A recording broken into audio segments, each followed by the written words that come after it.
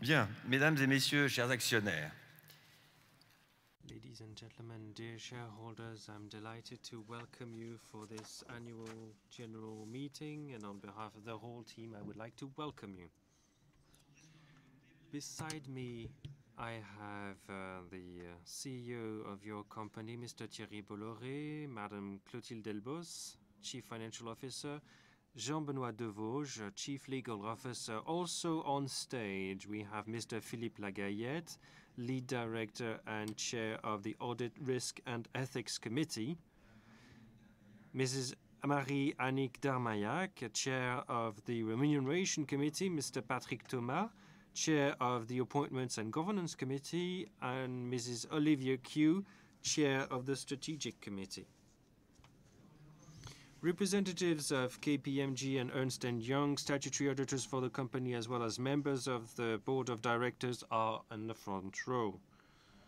I would like to remind you that you are gathered for the ordinary and extraordinary parts of the general meeting after the notice of meeting that was sent you by mail for nominative shareholder and uh, after the uh, public notices published in BALO and Petites Affiches for unregistered shareholders. Now we are going to appoint the bureau. As chairman, I suggest, uh, as tellers, the two shareholders present, representing for themselves and as mandants the largest number of voices, or votes possible, i.e., the French government, represented by Mr. Pierre Janin, and the Amundi company, represented by Mr. Olivier Desnos. And to serve as secretary of the general meeting, Mr. Jean-Benoît Devauges, Chief Legal Officer of the group, if he accepts. We now have a bureau. All legal documents were placed on the desk in line with legal provisions and made available to shareholders from the notice of meeting. These documents were recognized as compliant by the bureau. It was also confirmed to me that since the general meeting brings together over four, a quarter of uh, the shares uh, in the issued share capital with voting rights, the general meeting can validly decide on the ordinary and extraordinary resolutions on the agenda. The general meeting secretary will communicate the final results just before we move to a vote on resolutions. Let me point out that our general meeting is filmed and broadcast on the Renault Group website. I will also inform you that we have bailiffs in the room. That being said, ladies and gentlemen, dear shareholders, this general meeting is a little special, for it is the first for me as chairman of your company, and it's also the first for me as chairman of the board of the alliance.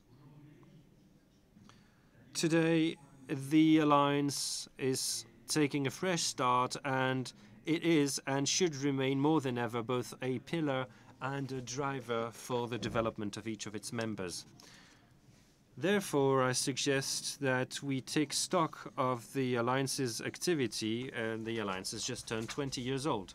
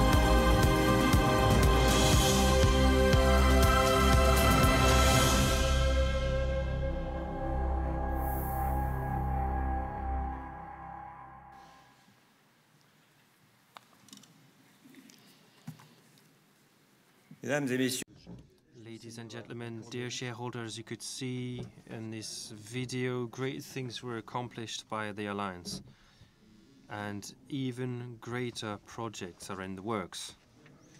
Today, I would like to share with you the fact that the Alliance is stronger with new governance. After the periods of turbulence that it went through, let me tell you that the Alliance has taken a fresh start, which is to be confirmed. When I arrived in the group a few months ago, I therefore discovered that the alliance against the backdrop of what is now called the Ghosn case, the alliance was more damaged than it seemed. My deep-seated belief, and there I fully agreed with the remit, the mission that I was given. My belief was and still remains that the priority is to restore a strong alliance, rebuilt on mutual respect and in a trust-based climate. The difficulties that were echoed in the press are, in fact, the reflection of a tense climate between partners where the cement that is truth was, had somewhat crumbled. Yet the good news, the good news is that nothing is irreparable. As you know, when trust is reduced, you need to re-establish the substance of this trust with gestures and commitments on both sides. Trust, as you know, is not decided but earned. That requires patience, efforts on both sides, as well as time. And everybody should also make a contribution in a negotiation between major partners that already know everything that was achieved and know how beneficial this alliance was for everyone. Thus, the new alliance board that we set up on the 12th of March this year and to that I cared very strongly about now enables us to enhance the power of our collaboration and to strengthen our ways of working almost on a daily basis based on dialogue and mutual respect. And here I would like to testify about the fact that these Alliance Board meetings that I have the honor of chairing, a limited board with the three CEOs of companies, is now an extremely responsible board and with the few sessions that we had in Paris or Tokyo went extremely well, so much so that I felt as a chairman that the teams around the table felt that they were all in the same boat. The goals are well known, improve the growth, the profile and the performance of this alliance but the absolute priority is to go towards a vivid, agile, efficient, and stronger alliance. And in this respect, all thoughts that could lead us to an improvement are welcome. And these, this thinking will take place. Have no doubt about it. It's uh, not perfect. Uh, it can no doubt be more agile or surely more efficient, but be aware that people in the high places in management are aware of the necessary changes. At the same time, we will need to provide the alliance with a vision, with a direction, to think about what I would call its purpose. That won't come as a surprise coming from me. We need to carry on thinking about how to strengthen the alliance whilst seeking a balance between the technological innovation aspects and also the human aspects. As you can see, ladies and gentlemen, challenges are huge. But let me reassure you, in fact, we have everything it takes to achieve that. Let me say that very clearly. There will be no success for the Renault Group without success for the alliance. Now, regarding Renault, let me tell you that I did not ask to become chairman of this company. But I accepted it because I thought that uh, there was a wonderful challenge and I wanted to serve this beautiful company where in just a few months I've discovered the passion of all team members. This is visible in the factories, at the Techno Center, and elsewhere. Unfortunately, I was not yet able to visit the whole group, as you can imagine, but what I could observe in the field filled me with happiness and hope. Beautiful industry, technology, and innovation. We have everything it takes to succeed. Believe me, as I speak to before you today, I am proud and happy and highly committed. It won't have escaped your notice, ladies and gentlemen, that the automotive industry is going through a totally new period with awesome challenges. You know them as well as I do. The environmental challenge that's been extensively covered, but it is incumbent upon us. It is our duty to design sustainable mobility for the future, which is environmentally friendly. We'll talk about that later. And we are also faced with radical societal transformation, as evidenced by the digital revolution, which is affecting all sectors, in particular that uh, the, automo the, the automotive sector. And also, as you know, we also observing with tremendous speed the rise of new mobility, which is increasingly electrical, autonomous, connected, and shared. I think that these are so many opportunities for the Renault Group, which already has a treasure trove of technology, which is only begging to be used and valued. I'm personally perfectly aware of the huge investment needed to achieve that. There are huge responsibilities which involve the whole company, but especially its management.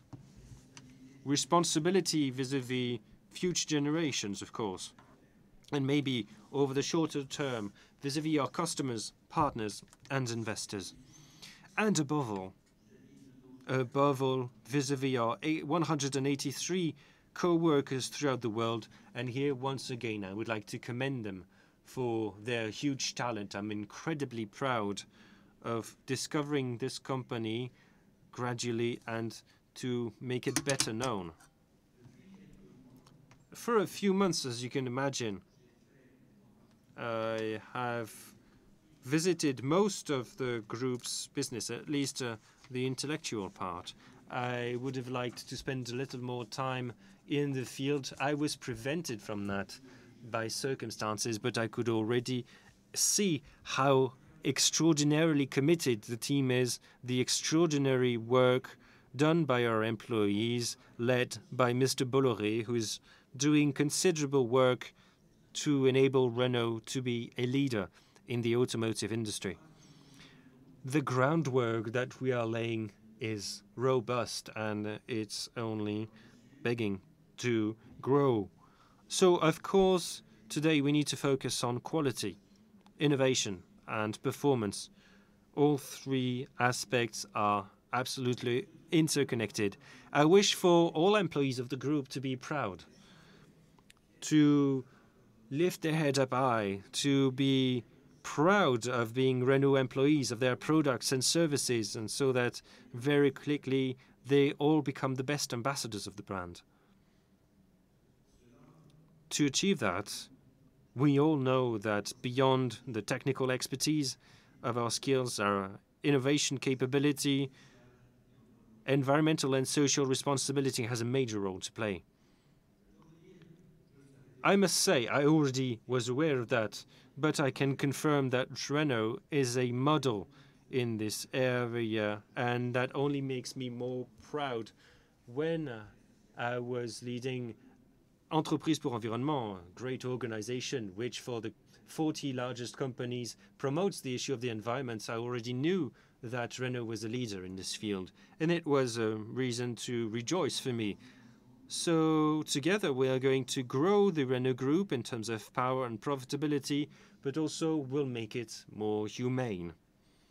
Because a more humane company, a more ethical company, is a fundamental condition for trust, collective well being, and therefore, obviously, for sustainable economic and social success.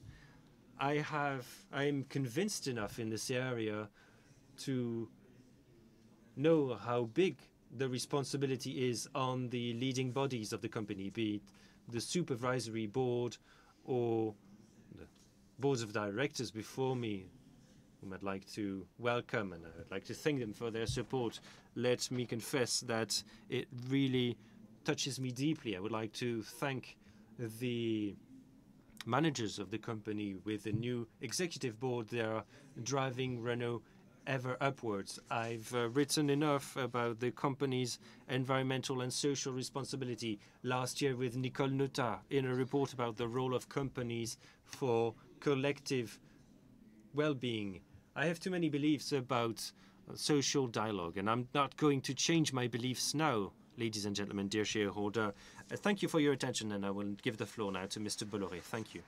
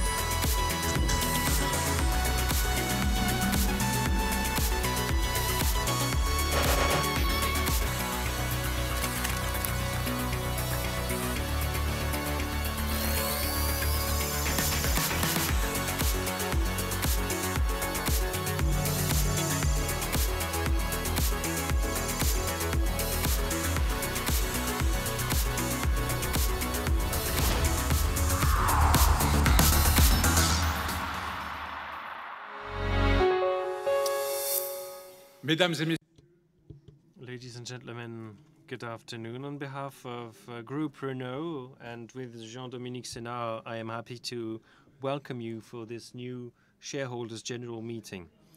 Let me come back over the year 2018 and a few months of 2019 that have elapsed before I share the outlook with you. After 10 years of uninterrupted growth in the industry, the years 2018 and 2019 are now a breaking point. Collapse of some key markets for Renault, like Turkey or Argentina, the closure of Iran, untoward currency exchange rates, acceleration in the change of the energy mix. But we were able to face these uh, headwinds. Before Clotilde Delbos comes back over our performance in more detail, I would like to share with you the highlights. In 2018, we had record sales record revenues for an operating margin of 6.3% with a free cash flow that was positive. These results exceed the commitments that we made for the year. Moreover, we were profitable in all of our regions. In 2019, the economic situation deteriorated further with the decline of 6.7% of the global markets at the end of May. In spite of that, and thanks to excess performance, we maintained our market share at the global level, and we are convinced that we will remain in line with our commitments for 2019. If we can be resilient without being becoming too exhausted, well, that's due to uh, the robustness of our assets. There are many, but I would like to mention a major three three pillars of our past and current performance. Our first asset is threefold strategic leadership in electric cars, LCVs, and our affordable vehicle range called Global Access. On the electric segment, we were pioneers 10 years ago. We are now leaders in Europe with 22% market share in 2018. In May 2019, our sales in Europe grew by 42% compared to the same period the previous year. Renault has 10 years of expertise, 230,000 electric vehicles on the road, 7,000 of which for car sharing, and 30,000 people trained in electrical technology. We've extended our electrical expertise to hybrid vehicles by developing our own technology, E-Tech, available from next year onwards on new Clio, and Mégane. E-Tech is based on all the innovations that we have in terms of energy recovery developed in Formula One, harnessed for everybody in our production cars. Thus, as will be the case with new Clio, we'll offer up to 80% of driving time in pure electric mode, and we are the only ones doing that on the market. Last but not least, we have started our conquest of the segments outside Europe, especially in China. On this segment, China is now the single largest market and the one with the highest growth. In 2018, over two EVs out of three were sold there, or 77% more than in 2017. We are there, first thanks to the joint venture that we have with Nissan and Dongfeng, which has paid off. Last April, we launched our 100% electrical city car, K Z, in Shanghai, a first milestone before it is marketed on other markets. Still in China, to bolster our presence there, we've also invested in JMEV, the fifth largest electric vehicle car maker in the country. Other area where Renault is a leader, LCVs, which account for 20% of our revenues. This is one of the highest growing and the most profitable segments where we have a full, renewed, electrified range sold in Europe and in the rest of the world. In 2018, we recorded historic performance with sales on the up by 3% compared to the previous year. This growth continued in 2019 with an increasing sales of 1.4% at the end of May. In Europe, we lead the van and the electric LCV segment, a success which is also confirmed this year. Every other uh, electric LCV sold in Europe is a Renault vehicle, so our goal is to extend our European leadership to the global level. We've laid the groundwork in China with the Renault Brilliance Jinbei Automotive joint venture. We've also launched Master in Korea. In 2016, we made a commitment to increase our sales of light commercial vehicles by 40% by 2022, raising that number to 760,000 units sold. Given our organic growth and external growth operations, especially in China, we've already reached that volume goal that we'd set ourselves. Another leadership on the uh, segment of affordable vehicles, which is 100% Renault expertise, develop affordable vehicles tailored to the expectations of local markets. In our range, we have close to 20 models that have driven growth in Europe and in emerging countries. In 2018, that meant over 1.4 million vehicles sold, or over a third of the group's sales. This success was confirmed this year with Duster sales in Europe, Kwid sales in Brazil, which were respectively up by 24 and 18% in April 2019 compared to the same period last year. By the end of our strategic plan, Drive the Future, our goal is to have a full lineup renewal in order to support our ambition to move to 2 million units sold per year. This 100% Renault expertise has built our reputation and helped extend our geographical coverage whilst maintaining our rank on our legacy markets. And that's our second asset, a diversified geographical mix. In 2018, driven by the success of our models, over half of our sales were made abroad, outside of Europe. This trend should continue for this year. After a difficult first half of the year, the launches expected by December should drive our sales in Europe and in the world. In Europe first, where we launched new Clio, which accounts for a major step in terms of quality and technology. as well as new Captur, which will be revealed next month. In Russia, we're launching Renault Arkana, an innovative concept of a crossover coupe, which will then be marketed in Korea and China. In China, by the way, as we said, we're also going to sell a 100% EV city car KZE. And in India, we're going to launch Triber, an innovative vehicle that will create its own segment that will be revealed in New Delhi next week. Our global exposure and our wide segment coverage gives us the ability to absorb shocks, to smooth market hazards, and the alliance is only strengthening this resilience. This is our third strategic asset for the Renault Group's performance. Under the leadership of Jean-Dominique Senard, we are maintaining our shared actions with renewed, tighter, and more balanced governance. As seen from the operations of Renault Group, the alliance is a key operational asset that underpins all of our ranges, platforms, modules, electronic architectures, autonomous driving, and electric vehicles. By 2022, 80% of our vehicles will be produced based on common platforms. Take New Clio, for instance, built on the new Alliance CMF-B platform. Renault Clio offers more quality, technology, value, and performance. Because it is based on a diversity of sources of profit, market, and economies of scale in the alliance, our performance pillars are robust and lasting. These fundamentals are necessary but not sufficient to deliver on our midterm strategic goals. The course is clear, let me remind you. By 2022, reach 70 billion in revenues for an operating margin higher than 7% with a positive free cash flow. We will deliver that whilst complying with future regulations. It's a real challenge at a time when markets are unstable, with technological disruption and strong needs in terms of investment, whilst we need to reduce our cost.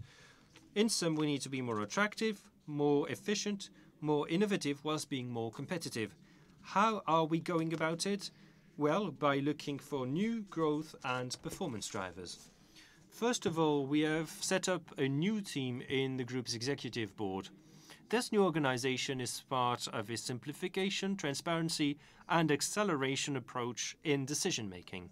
We are strengthening our customer focus from the product and service concept up to its full satisfaction. With this collective mindset, we are making decisions more quickly and more efficiently, similar to the transformation program at work in the company, and that's another performance driver. Indeed, at every level in the group, we are changing the way we work.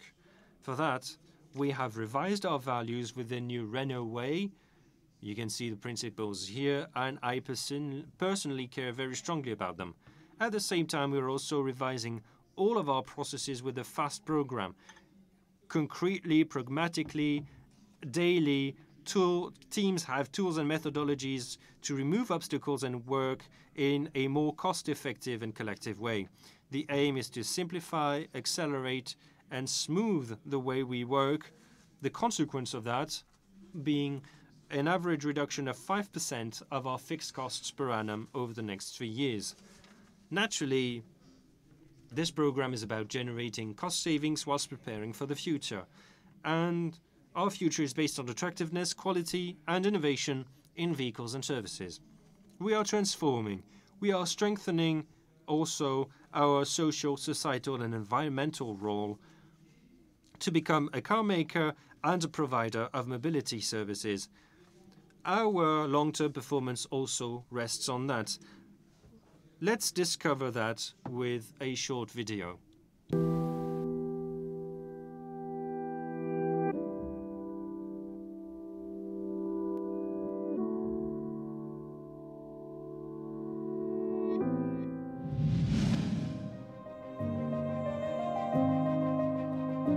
Mi nombre es María Milagros Cufré, soy alumna del Instituto Técnico Renault. Es una escuela con orientación técnico-mecánico. Esta escuela está ubicada en la fábrica que Renault tiene dentro de Córdoba, que es la fábrica de Santa Isabel. Mi familia está vinculada con Renault debido a que mi papá y ahora mi hermana y mi hermano trabajan todos en un sector determinado de la fábrica de Renault de Santa Isabel. El colegio me aporta muchísimos conocimientos, me encanta, es muy bueno, primero tiene un nivel académico espectacular, eh, es un ámbito muy cálido, la gente es muy comprensiva, mis metas para el futuro son recibirme de ingeniera industrial, al igual que mi hermano, y también eh, de traductora de inglés, como mi hermana, que sería como una especie de mezcla entre los dos. Veo que son sueños capaz complicados, pero no son inalcanzables, y que con mucho esfuerzo, dedicación, paciencia y mucho estudio, los voy a poder lograr y sin.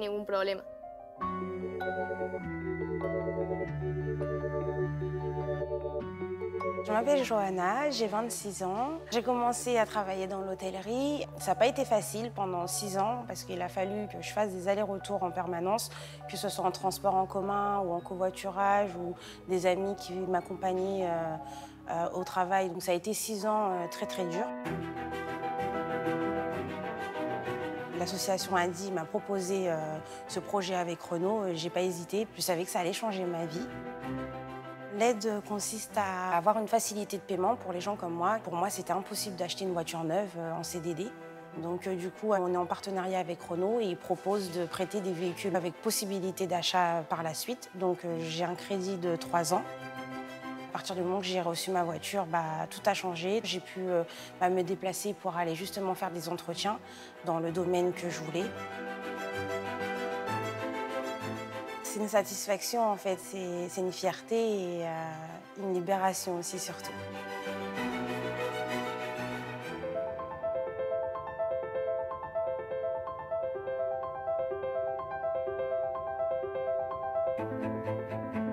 Nome è Metlika Marco, vigile del comando di Venezia, in servizio da otto anni presso il, la sede di Mestre.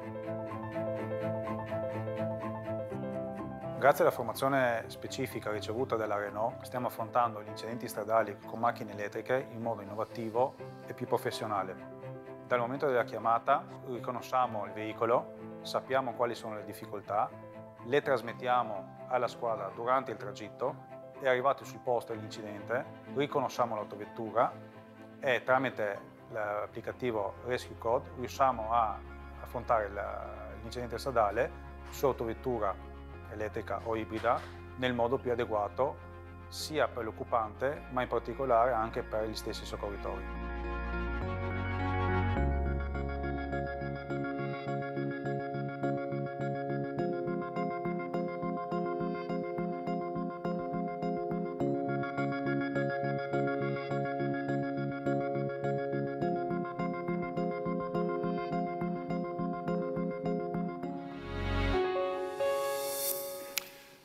De le voir.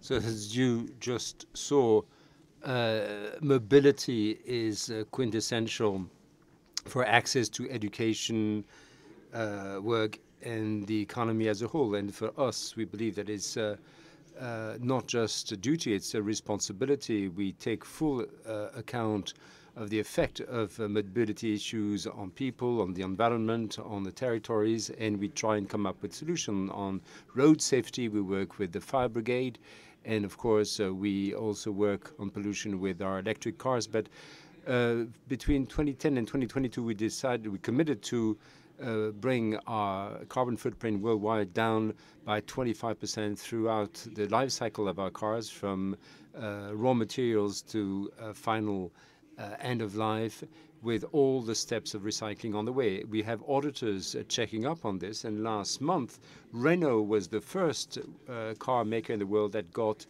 a uh, validation of its uh, decarbonation uh, path until 2030 in line with the objectives of COP21. We're amongst the top three leaders uh, industrial leaders with the lowest use of energy, and for the past 10 years, we've been uh, working on circular mobility, recycling or reusing parts and, and uh, materials from our cars in Europe. More than 30% of the materials used for the building of our cars come from recycling, and 95% uh, of the weight of our cars is either recycled or uh, monetized. Uh, our subsidiaries uh, in the environment department generated 500 million euros in uh, revenue, 200 million of which is used for repairs and after sales. And so our environmental responsibility is turned into a comp competitive asset at a time when the cost of raw materials has become um, a strategic challenge. Uh, we are working hard also on mobility for all, and that is the meaning of our commitment uh, in terms of uh, research and action tanks such as uh, Entreprise et Pauvreté or offering microloans to purchase cars. We try and serve these societal and environmental objectives. Thus, we propose to serve the long-term interests of this company. Uh, CSR is, in a way, a challenge that can help us improve our image, uh, our attractiveness, but this is also what drives our own people because the people working at Renault are at the heart of our performance and more than ever. Uh, we are working side uh, by side with them. We are recruiting, training, supporting our people, uh, and to prepare them for the future challenge challenges of mobility. As many as 4,700 people were recruited between 40, 27 and 2018. 230 million euros were invested in training, looking especially at the development of skills, what is what we call upskilling or reskilling. About 150 million euros were invested in improving the work environment at French workstations. And around the world in the year 2018, we recruited as many as 25,000 people, mostly uh, in manufacturing, so as to uh, reduce our uh, resort to uh, third parties and in digital technologies, data management, uh, onboard uh, electronics. We've made huge strides and we are hiring, of course, uh, many people to uh, make this happen and we're ready for tomorrow's mobility uh, situation. The world is changing. We have autonomous driving. Mobility has become a service. People use the service rather than owning cars. This is a new situation, not, a, not the first time for Renault, because we've been through a number of paradigm changes over the past 150 years. And for this, our role as uh, car, general car makers uh, is to contribute to tomorrow's mobility patterns with uh, industrial solutions, manufacturing uh, solutions, accessible and affordable to all that will make the difference uh, on the wide scales. You know our vision. We expected it uh, through our three concept cars, EZ-GO, Easy Pro, and Easy Ultimo. They are iconic in terms of uh, connected, autonomous, and shared mobility. And in so doing, we are making urban mobility happen without uh, impact on the environment or indeed congestion uh, while uh, alleviating or at least um, relieving public transportation. And this model is uh, can be repeated around the world. And we have been experimenting uh, in the field. We are offering uh, new services. At Saclay, we have a new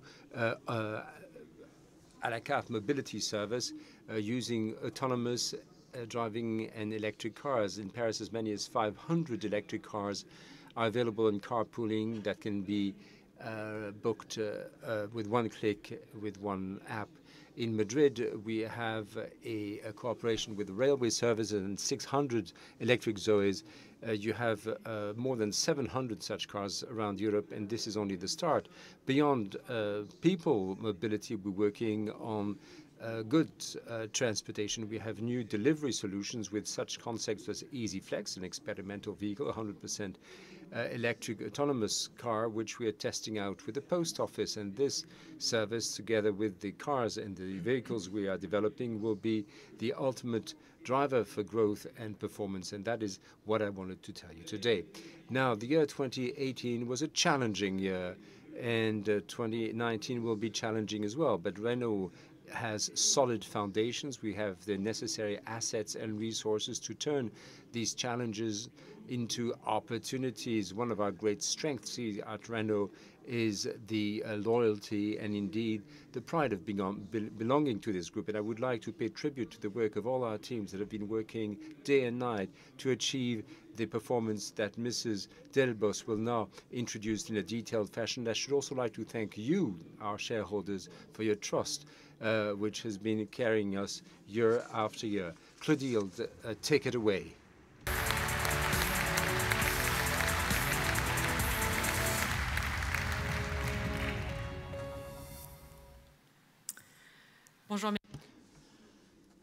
Good afternoon, ladies and gentlemen. It is for me to uh, present the sales and financial uh, performances for the year 2018 before uh, looking at the figures, the revenue figures for the first quarter of 2019. As Mr. As Thierry just pointed out, we have uh, met or indeed uh, exceeded the objectives announced at the beginning of the year. Let's look at the performance in 2018.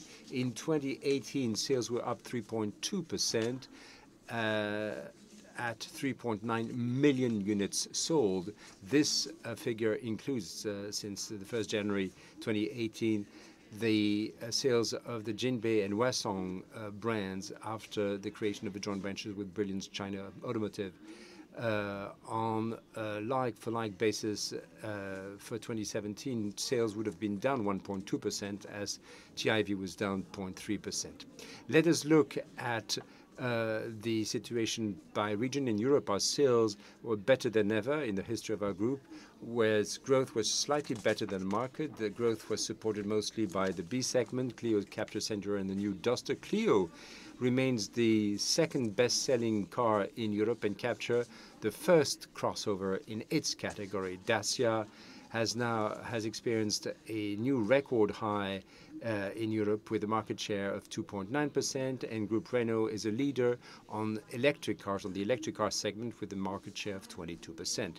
In Eurasia, sales were up 2% in a market that was down 2%. That uh, improvement is due to our good performance in Russia, which is the group's second market, where more than one car out of four is either Lada or Renault. Lada Vesta has become the best-selling vehicle in Russia.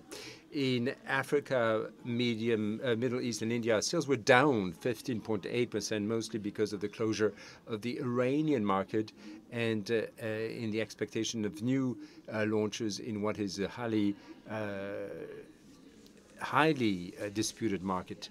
In the Americas, sales were up 12.1%, even though there was a serious degradation of the Argentinian market in H2. This, is, this reflects the success of Kwid in the region and the good performance in Brazil mostly, and Asia Pacifica, uh, Asia Pacific uh, recorded a 68% uh, increase in sales, including Jinbei and Huasong. On the like-for-like, we would have been down slightly. Let's look at the numbers for 2018. The financials. Uh, you have a, a summary uh, P&L here, an income statement in 2018, our revenue was 57.4 billion euros, down 2.3%, but not including the negative forex effect. Uh, revenue would have been up 2.5%. Let's take a look at the contribution of the three uh, business areas. Number one, the uh, automotive uh, division, not including AvtoVAZ, revenue there was 51.2 billion, down 4.4%. This is mostly due to the uh, economic and geopolitical situation in a number of uh, markets outside Europe, and this has brought about a significant decline in volumes and currencies. But also, this was due to American sanctions, which have prompted us to stop our business in Iran starting in August. But we were able to limit the uh, negative effects through uh, price hikes in emerging markets to absorb the currency effects, but also in Europe to pass on regulatory costs. The two other business areas, AvtoVAZ in our bank, RCI, both exceeded 3 billion euros in contribution to our revenue. Let's look at the group uh, operating uh, margin. It is down 242 million euros to 3.6 billion. Uh, the consolidated operating uh, margin is 6.3%, down 0.3 percentage points compared to 2017. But that figure does include a change in our accounting standards, which has um, affected the operating margin by 0.2 percentage points. Let's look at the contributions of the three segments. Operating margin of the automotive section, not including AvtoVAZ, is down 545 million euro to 2.2 billion and accounts for 4.3% of sales. Uh, not apart from the, the, negative volume effect, this uh, is mostly due to an unfavorable environment, both in terms of currencies, because there's a minus 526 million euro effect, but also raw materials minus 356 million euros.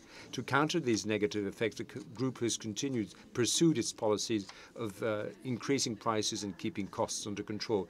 AvtoVaz's contribution to operating profit was 204 million euros, or 6.5% of revenue, even though this improvement um, benefited from non-recurring uh, items. Uh, this significant growth is, of course, the next stage in its recovery. Finally, RCI Bank had a record year in 2018 with a 1.2 billion euro contribution to the group's profit. That 14.7% increase is mostly due to the good, uh, good sales performance, but also a, uh, strict uh, control of costs. The contribution of related companies, mostly Nissan, was 1.5 billion euros in 2018, down 1.2 billion euros compared to the previous year. But the previous year had in um, one-off um, proceed uh, 1.1 billion euros due to a tax reform voted uh, the previous year in the United States and a capital gain on the disposal of its stake in an equipment manufacturer. Other uh, costs and uh, other profits and um, expenditures uh, happened because of the crisis in Argentina and provisions for the um, uh, the end of the program in France. Uh, the net profit after tax was 3.5 billion euros, uh, down 1.9 billion euros. Uh, last year, the we had a positive operating op operating free cash flow upwards of 600 million euros, which of course improved our balance sheet position. Uh, the net position, the net cash position at the end of the year was 3.7 billion euros compared with 3.1 billion euros at end 2017, in spite of a decline in the net profit in 2018, and that was because some one-off items did not recur. Still, the board of directors felt that the sound financial position of the group made it possible for us to uh, suggest a, uh, to maintain the dividend in 2018 at the same level as 27, i.e. 3.55 euros per share. A few words about revenue for the first quarter of 2019 as published in April. As you can see on this page, uh, the world market is down 7.2% over the first three months of the year. In this challenging context, the group decided to uh, manage to gain market shares uh, with down the, decline in sales limited to 5.6%. Of course, if you correct this uh, for the closure of the Iranian market, the decline would have been only 1.7%. In Europe, sales were up 2%, even though the market as a whole was down 2.4%, and that is thanks to the good performance of Clio, the new Duster, Zoe, and LCVs. Internationally, the group was able to outperform the market in Eurasia, in America, in Africa, Middle East, and India, adjusted for Iran. The Asia-Pacific region suffered from a decline in Chinese demand. In this context, uh, revenue for the group for the first quarter of 2019 uh, was down 4.8% at 12.5 billion euros on, on, on an equal uh, exchange rate uh, the decline would have been only 2.7%. Revenue of the automotive division, not including AvtoVAZ, was down 6.3% because of lower sales uh, lower volumes and lower sales to partners, but also there were negative forex effects. AvtoVAZ continued to grow uh, with the contribution uh, up 7% at 767 million euros. Finally, RCI's contribution to revenue was up 6.4%. Thank you for your attention.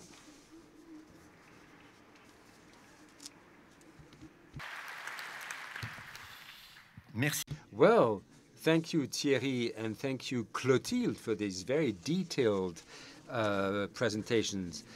Uh, having heard uh, about the group's activity and its outlook, the time has come for us to address the issue of governance in this company. I would like to give the floor to Philippe Lagayette, who, in his capacity as lead director, will give you uh, the findings of uh, the uh, board of directors Uh, up until my appointment in uh, April 2019 on the issue of governance, and then I will tell you about developments since I was appointed. Then I will give the floor to Mrs.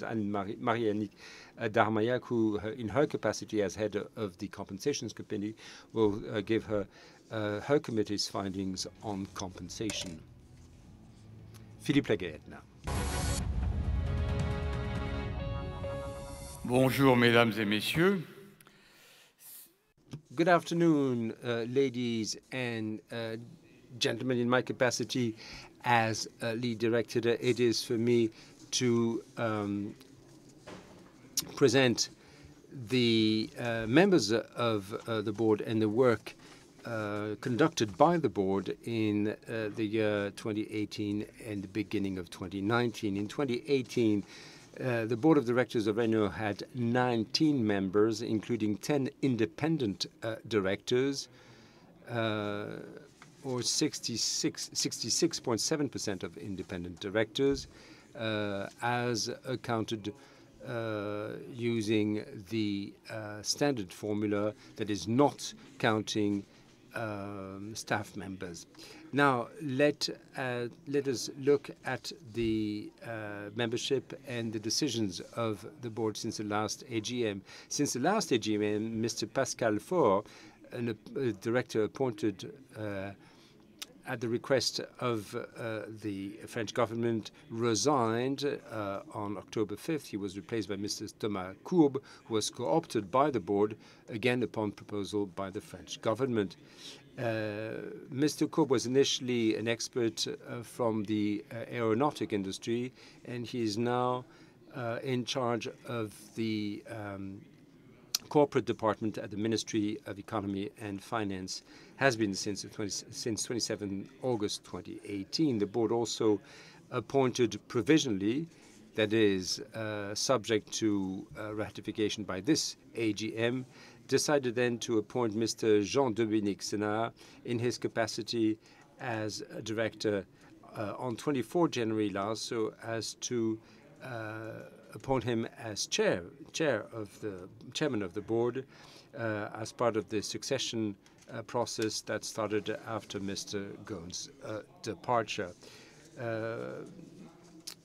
Moreover, uh, the terms of three members will end after this AGM. Mr. Carlos Ghosn, on April 2nd last, uh, told the board that he intended to put an end to his term as uh, director after uh, the end of this AGM because of his continued inability to attend and due to the fact that there are limits to his movements. Mrs. Cherie Blair's term will also come to an end at the end of this AGM, and my own term as director will end today, and it will not be possible to uh, renew this mandate because I have reached the uh, statutory age limit. And so uh, we are now putting to your approval the ratification of Mr. Thomas Courbe's appointment and that of Mr. Jean-Dominique Senard as directors. Moreover, uh, it is uh, suggested to uh, approve the appointment of Mrs. Annette Winkler in her capacity as a new uh, director upon recommendation of the Appointments and Governance Committee. Mrs. Annette Winkler was managing director of a Daimler uh, subsidiary between 2010 to September 2018. Subject to approval of these appointments, the board then uh, will include, after this uh, AGM, 18 members, 71.4% uh, of which uh, of them independent, uh, with Mrs. Winkler's appointment the proportion of women on the board will stand at 46.7%. Now, a few words about the activity of the board in 2018. Throughout the year 2018, the board uh, examined the three uh, uh, following strategic issues. Human capital of the group and the three pillars of the HR policy as part of the Drive the Future strategic plan. Uh, we also examined the group's strategy in terms of um, electric cars and uh, hybridation, hybridation technologies. And the board also uh, examined uh, the aspects of uh, IT and digitalization, the main challenges ahead, the way in which uh, the, the group is be, being digitalized, and the way in which this has improved the company's performance. Now, let's look in closer detail at the work of uh, the board after the arrest of Mr. Ghosn that occurred on 19 November last. The, um, this uh, included three aspects. Uh, the immediate uh, introduction of a provisional of provisional governance, uh, verifications and audits uh, in the group, and new new governance. To complete this work, the board met on four occasions between 19 November 2018 and 24 January 2019. The committees uh, met on seven separate occasions. During that time, on top of uh, board meetings, there were five informal uh, information meetings for uh, directors, and uh, they dealt in particular uh, with the work of the Audit, Risk and Ethics Committee, uh, known as CARE, and this is the word, the name I will be using from now on. But we also looked at the work of the Appointments and Governance Committee. So, uh, first aspect was a provisional uh, governance when uh, the, the, announcement came of Mr. Ghosn's uh, arrest. Uh, the board immediately introduced provisional governance measures to ensure the preservation of the group's interest and the continuation of its operations. The board decided to meet as often as, as necessary um, under the chairmanship of the lead director, and on 20 November 2018 decided to appoint Mrs. Thierry Bolloré in as um, deputy managing director and uh, ask him to be in charge of uh, an executive charge of uh, the group.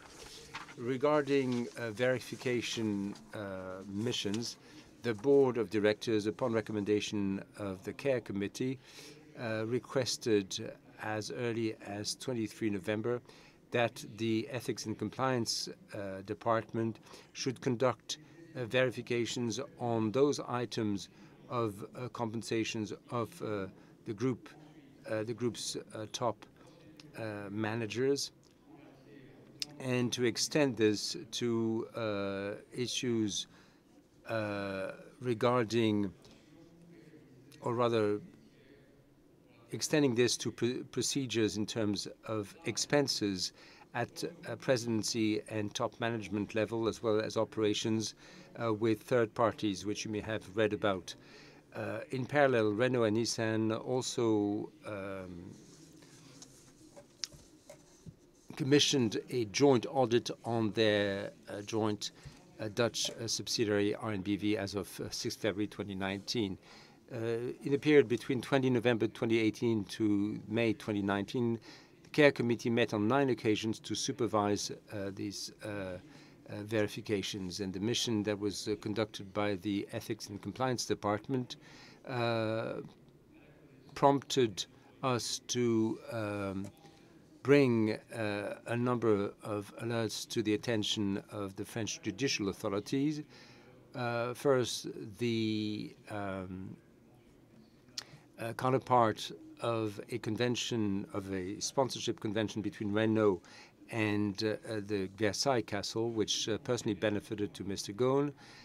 number two, payments made to a Lebanese lawyer, and then payments to the benefit of a Renault importer based in the Middle East. The board invited general management to put in place measures in order to prevent similar situations in the future especially in terms of internal organization.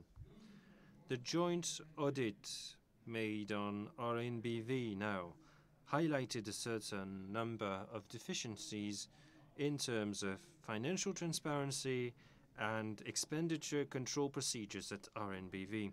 The board of directors therefore requested that general management of Renault liaise with Nissan in order to decide at the level of RNBV about the necessary corrective measures.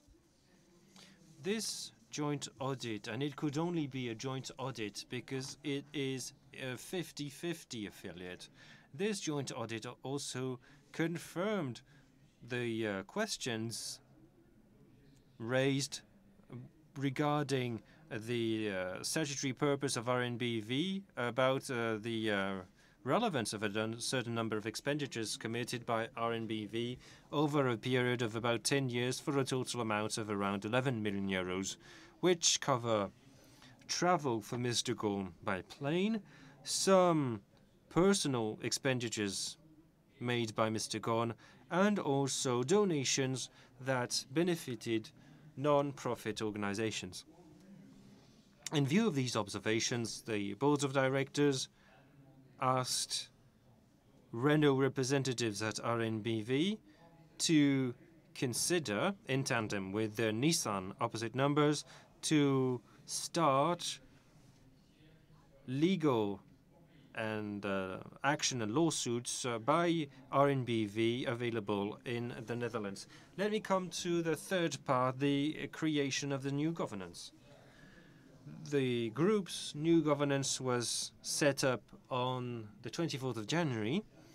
At that date, the board of directors took note of Mr. Ghosn's decision to end his terms as chairman and CEO, and upon recommendation from the Appointments and Governance Committee, the board of directors decided to choose to dissociate the two functions in the future it deemed that this structure is more appropriate for Renault's current challenges because you can both benefit from the stature and expertise in terms of corporate governance of a chairman and the managerial uh, background and expertise, industrial and automotive expertise of a CEO. This dissociation went hand in hand with changes in the bylaws of the board, creating a new distribution of powers between the chairman and the CEO. Beyond a chairman's usual missions, the chairman is now given at Renault a specific role in the management of the alliance in connection with the CEO. Now, the CEO still has management and decision-making powers uh, that are as extensive as possible in terms of Renault regarding the alliance, the alliance. He is in charge of coordinating the alliance's activities in the operational realm under the authority of the chairman. Then the board selected candidates for the functions of chairman and CEO and did that based on the criteria selected by the Appointments and Governance Committee, amongst which, in particular, flawless ethical reputation, recognized international experience, good knowledge of the automotive world, a culture of innovation, charisma, and leadership. At the end of this process, the functions of chairman were given to Mr. Jean-Dominique Senard, and the function of CEO were given, was given to Mr. Thierry Bolloré. As part of this new governance, uh, the board has already decided to maintain a lead director whose mission would be in particular to substitute for the chairman in his absence, to prevent conflicts of interest, and to work for Renault's good governance. The new lead director will be appointed based on a proposal by the Appointments and Governance Committee amongst the independent directors during a, a future meeting of the Board of Director, Directors. The last aspect of this presentation will be about the board's assessment. The annual assessment was conducted this year, like every year, and it was an opportunity to learn the lessons of recent events and to re examine the ways the board and its committees work. The board took account of some avenues for improvement, and these avenues included, in particular, a proposal to appoint as director people with experience in the automotive world. And the proposal to appoint Ms. Annette Winkler is in keeping with this goal. What's more, directors expressed the desire to spend more time thinking about strategic guidance as well as CSR. In conclusion, ladies and gentlemen, I think one can say that the company reacted quickly and as effectively as possible to the unexpected shock that it felt. The provisional management was put in place immediately and worked well.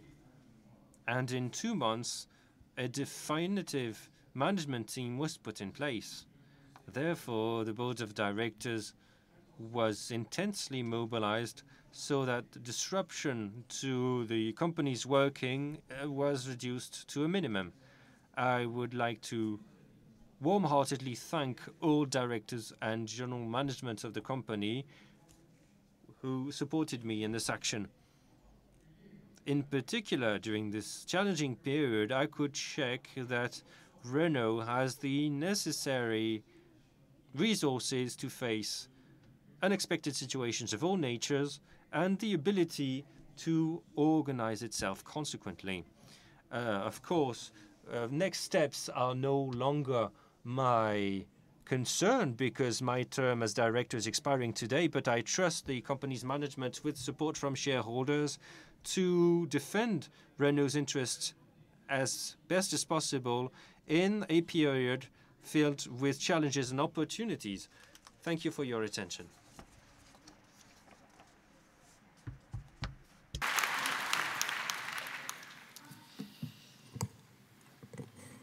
Merci, Philippe. Thank you, Philippe, for this very comprehensive presentation. Uh, since you're leaving, I would like once again to say that uh, life at uh, Group Renault uh, since 2010 has not always been smooth sailing, and in the latest period, uh, everyone knows things were difficult for the company. In this period, and uh, I can testify about it since I uh, became chairman. Mr. Lagayette was always very available, very open minded, and he helped me over these uh, few weeks where I got to learn about the group's environment, both inside and outside, especially uh, about the goings on at uh, the board of directors. I would like to thank him for that. Thank him for being so delicate with me and, and, tactful with me and other board members. I won't take too much time, ladies and gentlemen, just to say that this current governance, which is being renewed, relies on a belief that we all have that functional governance is absolutely key for effective accountability of the various management and control bodies of a group. Even more fundamentally, it's also a very strong signal beyond symbols for trust within the company. This is with this rationale in mind that we've decided to slightly amend the group's governance with a requirement for balance, uh, diversity in skills and profiles, whilst being based on robust ethics. As Philippe recalled, we've decided to split the functions of uh, CEO and chairman of the board, still with a lead director. I care about that because I serve as lead director within the board of directors of Saint-Gobain, and I know how useful this function is. On the one hand, it helps provide a twofold guarantee in terms of checks and balances and ethical governance. And also, amongst other things, it helps have a dedicated and preferred contact for shareholders. Well, the board of directors, which has met many times since I arrived uh, at the helm uh, since uh, the 24th of January, had to make a number of difficult decisions. And as far as I can tell, it is driven by very agile, free, and uh, lively spirits. And these meetings of the board of director are always a very pleasurable moment because I have an impression that we are all working as a team. And uh, I would like to thank them for that because it makes our lengthy meetings so much more equanimous and uh, pleasurable. Uh, we talked about the changes of the board. Philippe said what I wanted to say. Uh, Ms. Blair is also going to leave us. I wanted to express our gratitude to her. We were not on the board uh, together for a very long time, but I wanted to say that all of our comments were always based on uh, British humor, a certain demanding quality, and they were always highly relevant. And let me thank her for that, for all that she did. And also, of course, I'm really happy, really, really happy to welcome Annette Winkler, because the conversations that we've had since she's uh, been uh, proffered as a candidate to join us, well, uh, she showed that she would contribute uh, a tremendous knowledge of the automotive world and a very sharp mind that uh, I have no doubts about. With this new changing governance, we wanted to make our work smoother, especially the work of the committees. And let me tell you, we want better accountability of governing bodies. Talking about accountability, there I mean actual accountability being taken into account. We've created a new Governance and Remunerations Committee that will be chaired by Patrick Thomas, which is the outcome of the merger between the Appointments and Governance Committee with the Remunerations Committee. It seemed that it would be more logical and easier to work in this context and avoid duplication of work with greater consistency, as I said. We also have a new Ethics and CSR Committee, which will be chaired by Marie-Annick Darmaillac. This has some implications because a specialized CSR committee immediately gives a focus that I would like to set for the board's work, making it a full-fledged topic that really shows the group's DNA and the prospects that we have to improve that responsibility in the future. Then the board will monitor much more closely the ambitious yet realistic goals that we've set in all these areas, in particular in the area of the circular economy, to name but one of the most important. And last but not least, a new Audit Risk and Compliance Committee, uh, which will be chaired by Pascale Sourisse. We know how important the role of that committee is. It plays a central role in the life of the board. So, ladies and gentlemen, dear shareholders, I would like to thank you and now throw it over to Marie-Annick Darmaillac, who will report on matters of managers' remuneration and the remuneration policy.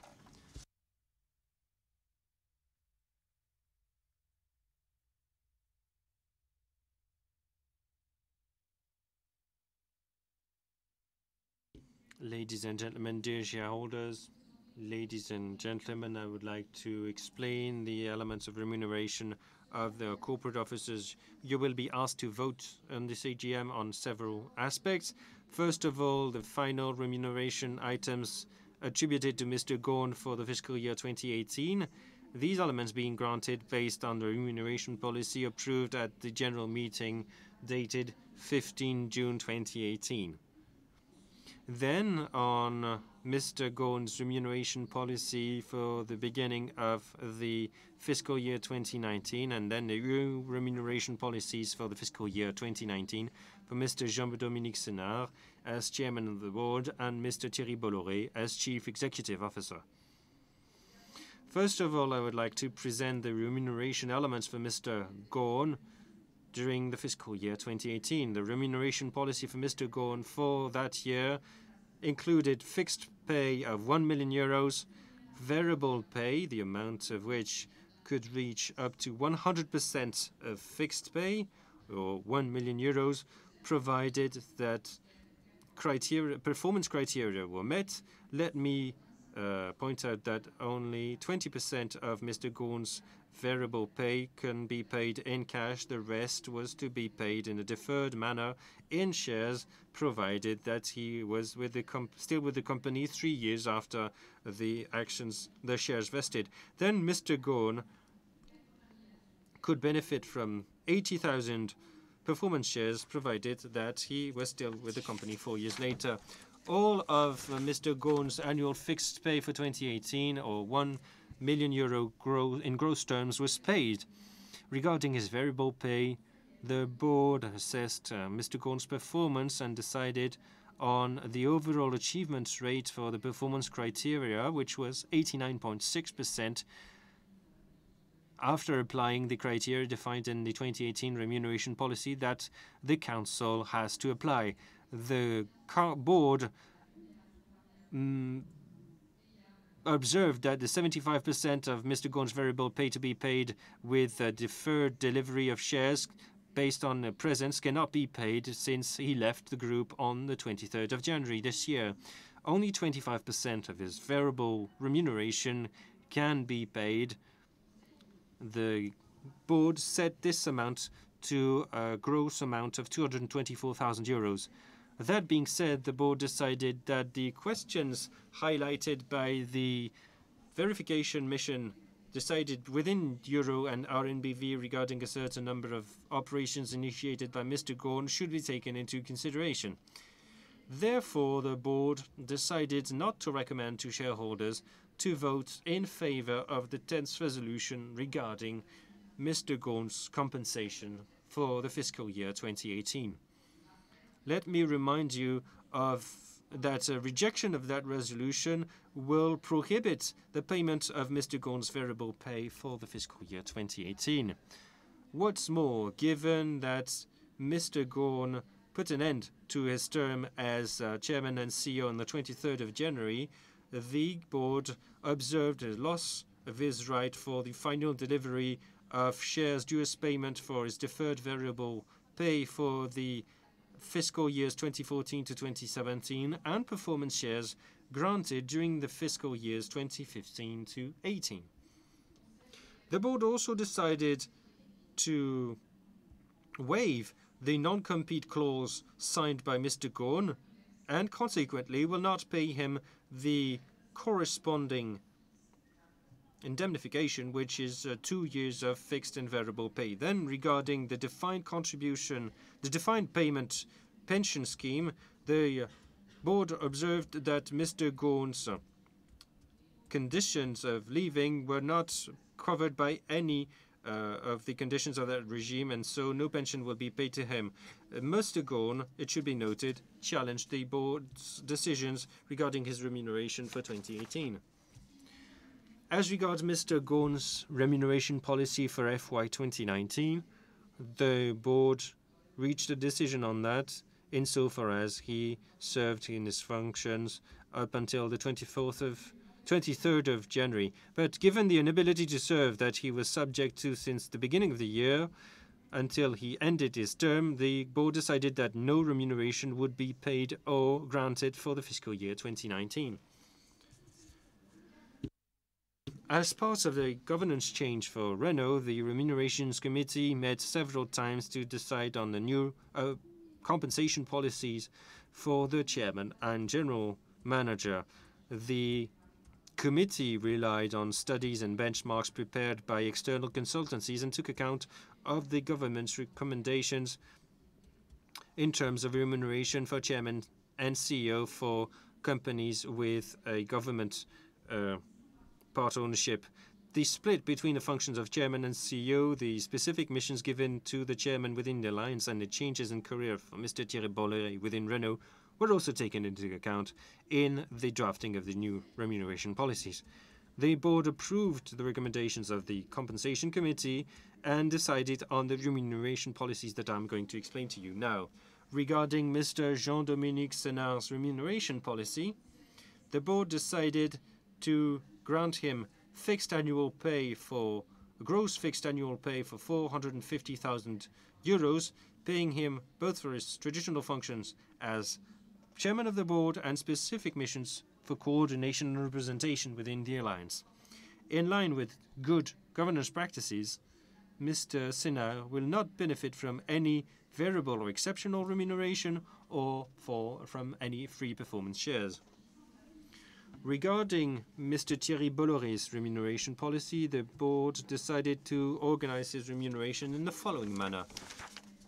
A gross annual fixed pay of 900,000 euros, 10% lower than the former CEO's annual fixed pay, variable remuneration which could reach 125% of fixed pay or 1.125 million euros, subject to annual quantitative and qualitative criteria, and long-term remuneration of uh, 50,000 performance shares for the fiscal year 2019, the final delivery of which will be subject to the achievement of performance criteria gauged over three years and uh, subject to Mr. Bolloré's presence within the group at the end of this period. This remuneration structure expresses a correlation between performance and compensation. It includes a major risk component based on demanding, stable, verifiable, and quantifiable criteria, both over the short and long term. In its work, the group has changed the definition and the weighting of the performance criteria applicable to the, to the determination of Mr. Bolloré's variable pay in order to better align quantitative criteria on the guidance disclosed by the company to the markets. Regarding quantitative criteria, the share of group operating margin was raised from 30 to 40%, and the return on equity rate was replaced by the group's revenues, which accounts for 30% of overall, of overall performance. The variable part that can account for 125% of uh, his remuneration's fixed pay, quantitative criteria can lead to a variable pay that can reach 100% of fixed pay regarding qualitative criteria, and there are three of them, have equal weightings and they can account for an additional variable part that can reach 25% of fixed pay. Criteria perform, performance criteria applicable to the determination of uh, long-term remuneration for the CEO are identical to those decided on in 2018.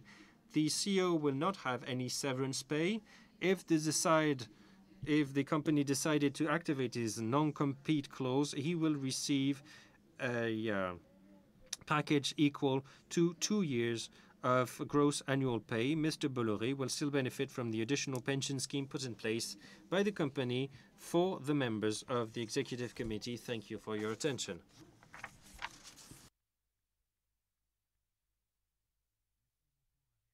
Thank you so much, Marie-Annick. I realize one thing, and I hope that Olivia Qiu will not begrudge me. I forgot to talk about uh, because uh, earlier I introduced the innovations in terms of uh, committee governance, and I forgot to say uh, what was constant, what remained. And the strategic committee is uh, not a lesser committee, and of course it's still there, uh, highly sought after by members of the board. Uh, let me uh, tell you. And Olivia Qiu is a brilliant chair for that. Sorry for forgetting you, Olivier.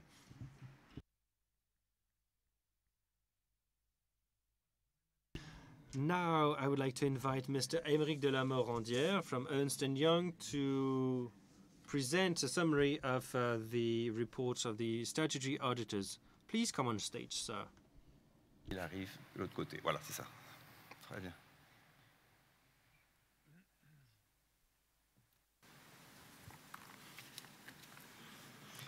Mesdames.